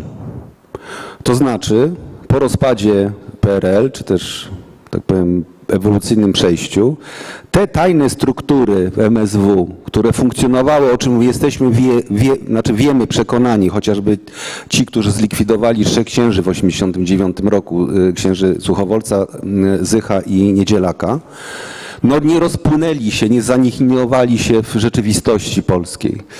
Jest przecież słynny wydział czy komórka tak zwana chemiczna w SB, którą co po niektórzy historyczy IPN i nie tylko i dziennikarze śledczy szukają od, od wielu lat, a niektórzy znani działacze y, y, opozycji demokratycznej lat 70., 80. z wybrzeża do tej pory szukają. Pamiętam, to już tak na zakończenie, żebyście Państwo mieli takie jeszcze, tak, mm, Petru to mówił, nie wisienka na torcie, tylko chyba truskawka na torcie, tak? 92 rok, chyba to był kwiecień y, albo marzec y, y, i wizyta oficjalna w resorcie spraw wewnętrznych Antoniego Macierewicza, Lecha, Lecha Wałęsy.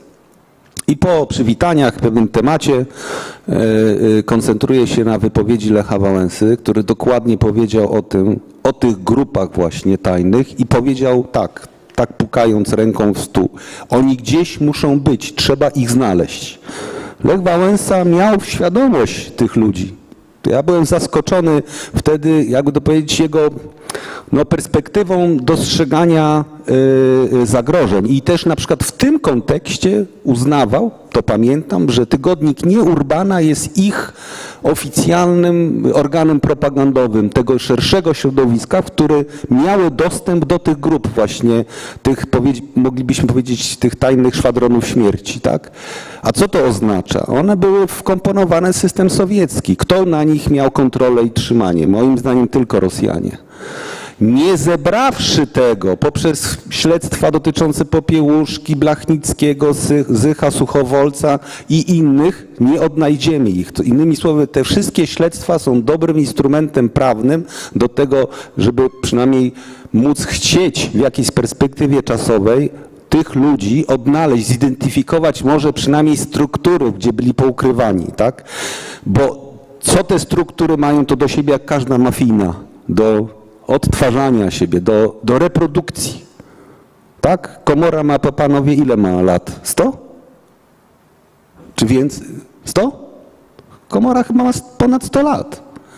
No jest, jest system reprodukcji takich zbrodniczych organizacji, crime organization. Także to jest jeszcze, ten, to jest jeszcze element moim zdaniem, że państwo polskie musi odrobić zaległe zadania domowe i sięgnąć do, do, do, do przeszłości. Zresztą e, jakby fragmentarycznie Andrzeju o tym powiedziałeś, ten słynny e, samobójca seryjny, prawda? To, to może być to. To może być to.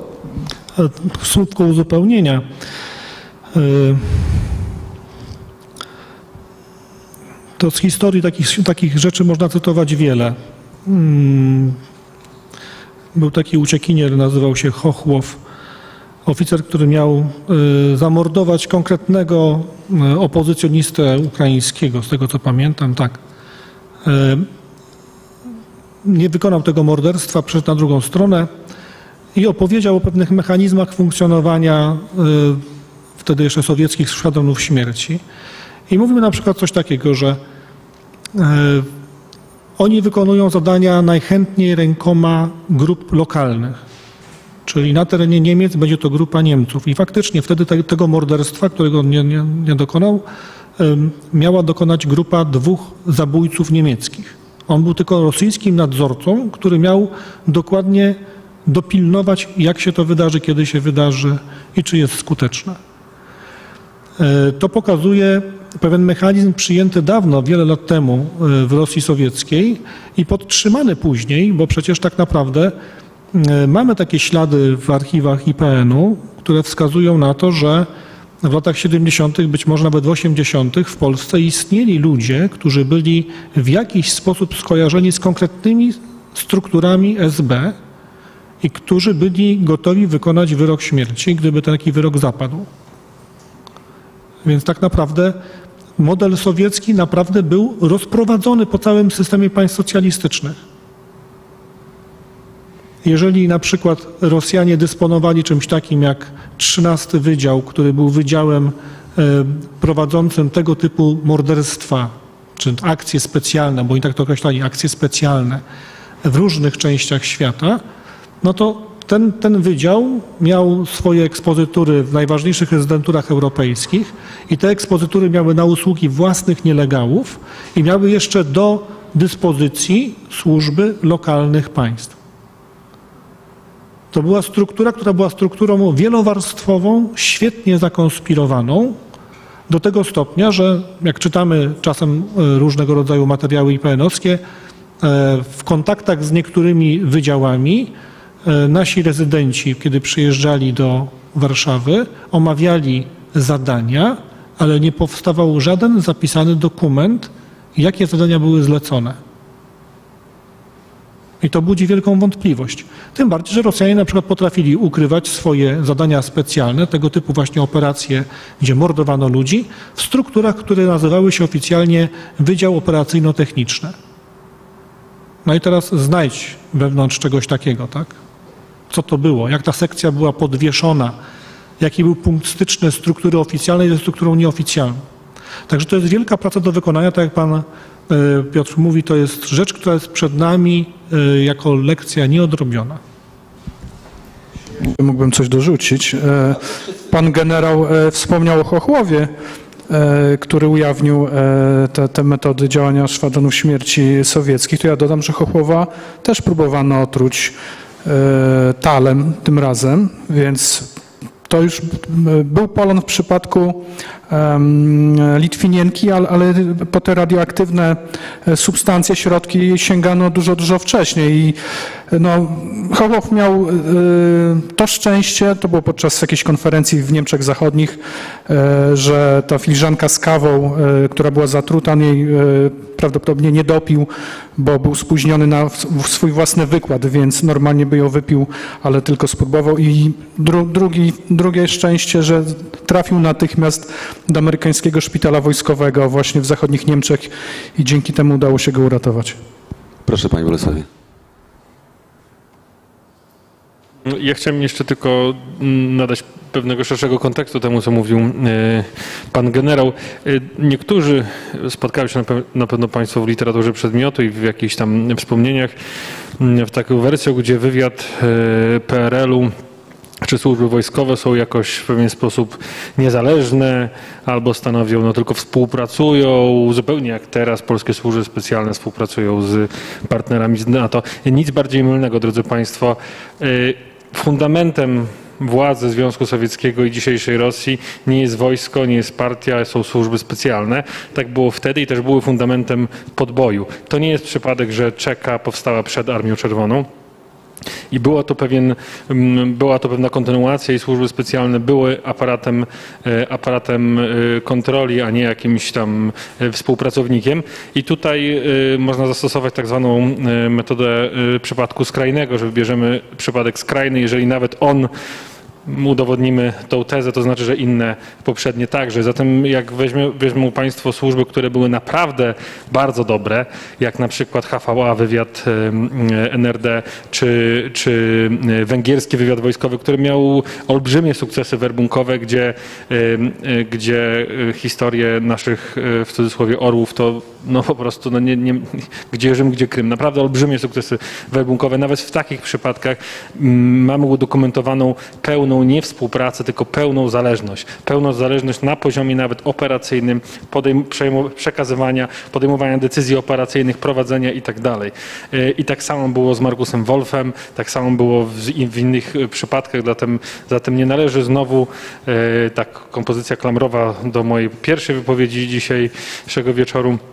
E, Nie należy naprawdę e, mieszać systemów walutowych i przekładać e, pewnych pojęć i struktur tego, jak rozumiemy służby specjalne pomiędzy wschodem a zachodem, to po prostu inaczej tam wygląda i to jest kolejny przykład na to, że to tam inaczej wygląda. I tym y, stwierdzeniem pozwalam sobie, Szanowni Państwo, y, zakończyć. Dziękuję za Wasze przybycie, y, wszystkich tych, którzy nas oglądali. Dziękuję gościom i po lewa, i po prawa. Y, I zapraszam na kolejny cykl Tajemnic Bezpieki, który odbędzie się w listopadzie. Daj Panie Boże, że się odbędzie mm, w tej samej formule, co najmniej takiej hybrydowej. Y, 23 października, to jest y, 23 listopada, to jest poniedziałek o 17.30. Moim gościem będzie taki znany działacz grup oporów Solidarność Warszawy, Michał Mirecki, który został w 1987 roku porwany przez SB do Magdalenki, tam przesłuchiwany i torturowany, ale o szczegółach on powie osobiście. Także dziękuję uprzejmie jeszcze raz panom tutaj za przybycie i udział w spotkaniu i odpowiedź na moje zaproszenie i życzę e, Państwu e, komfortowego powrotu do domu środkami komunikacji miejskiej, jeżeli takie są oczywiście w tej chwili. Dziękuję uprzejmie.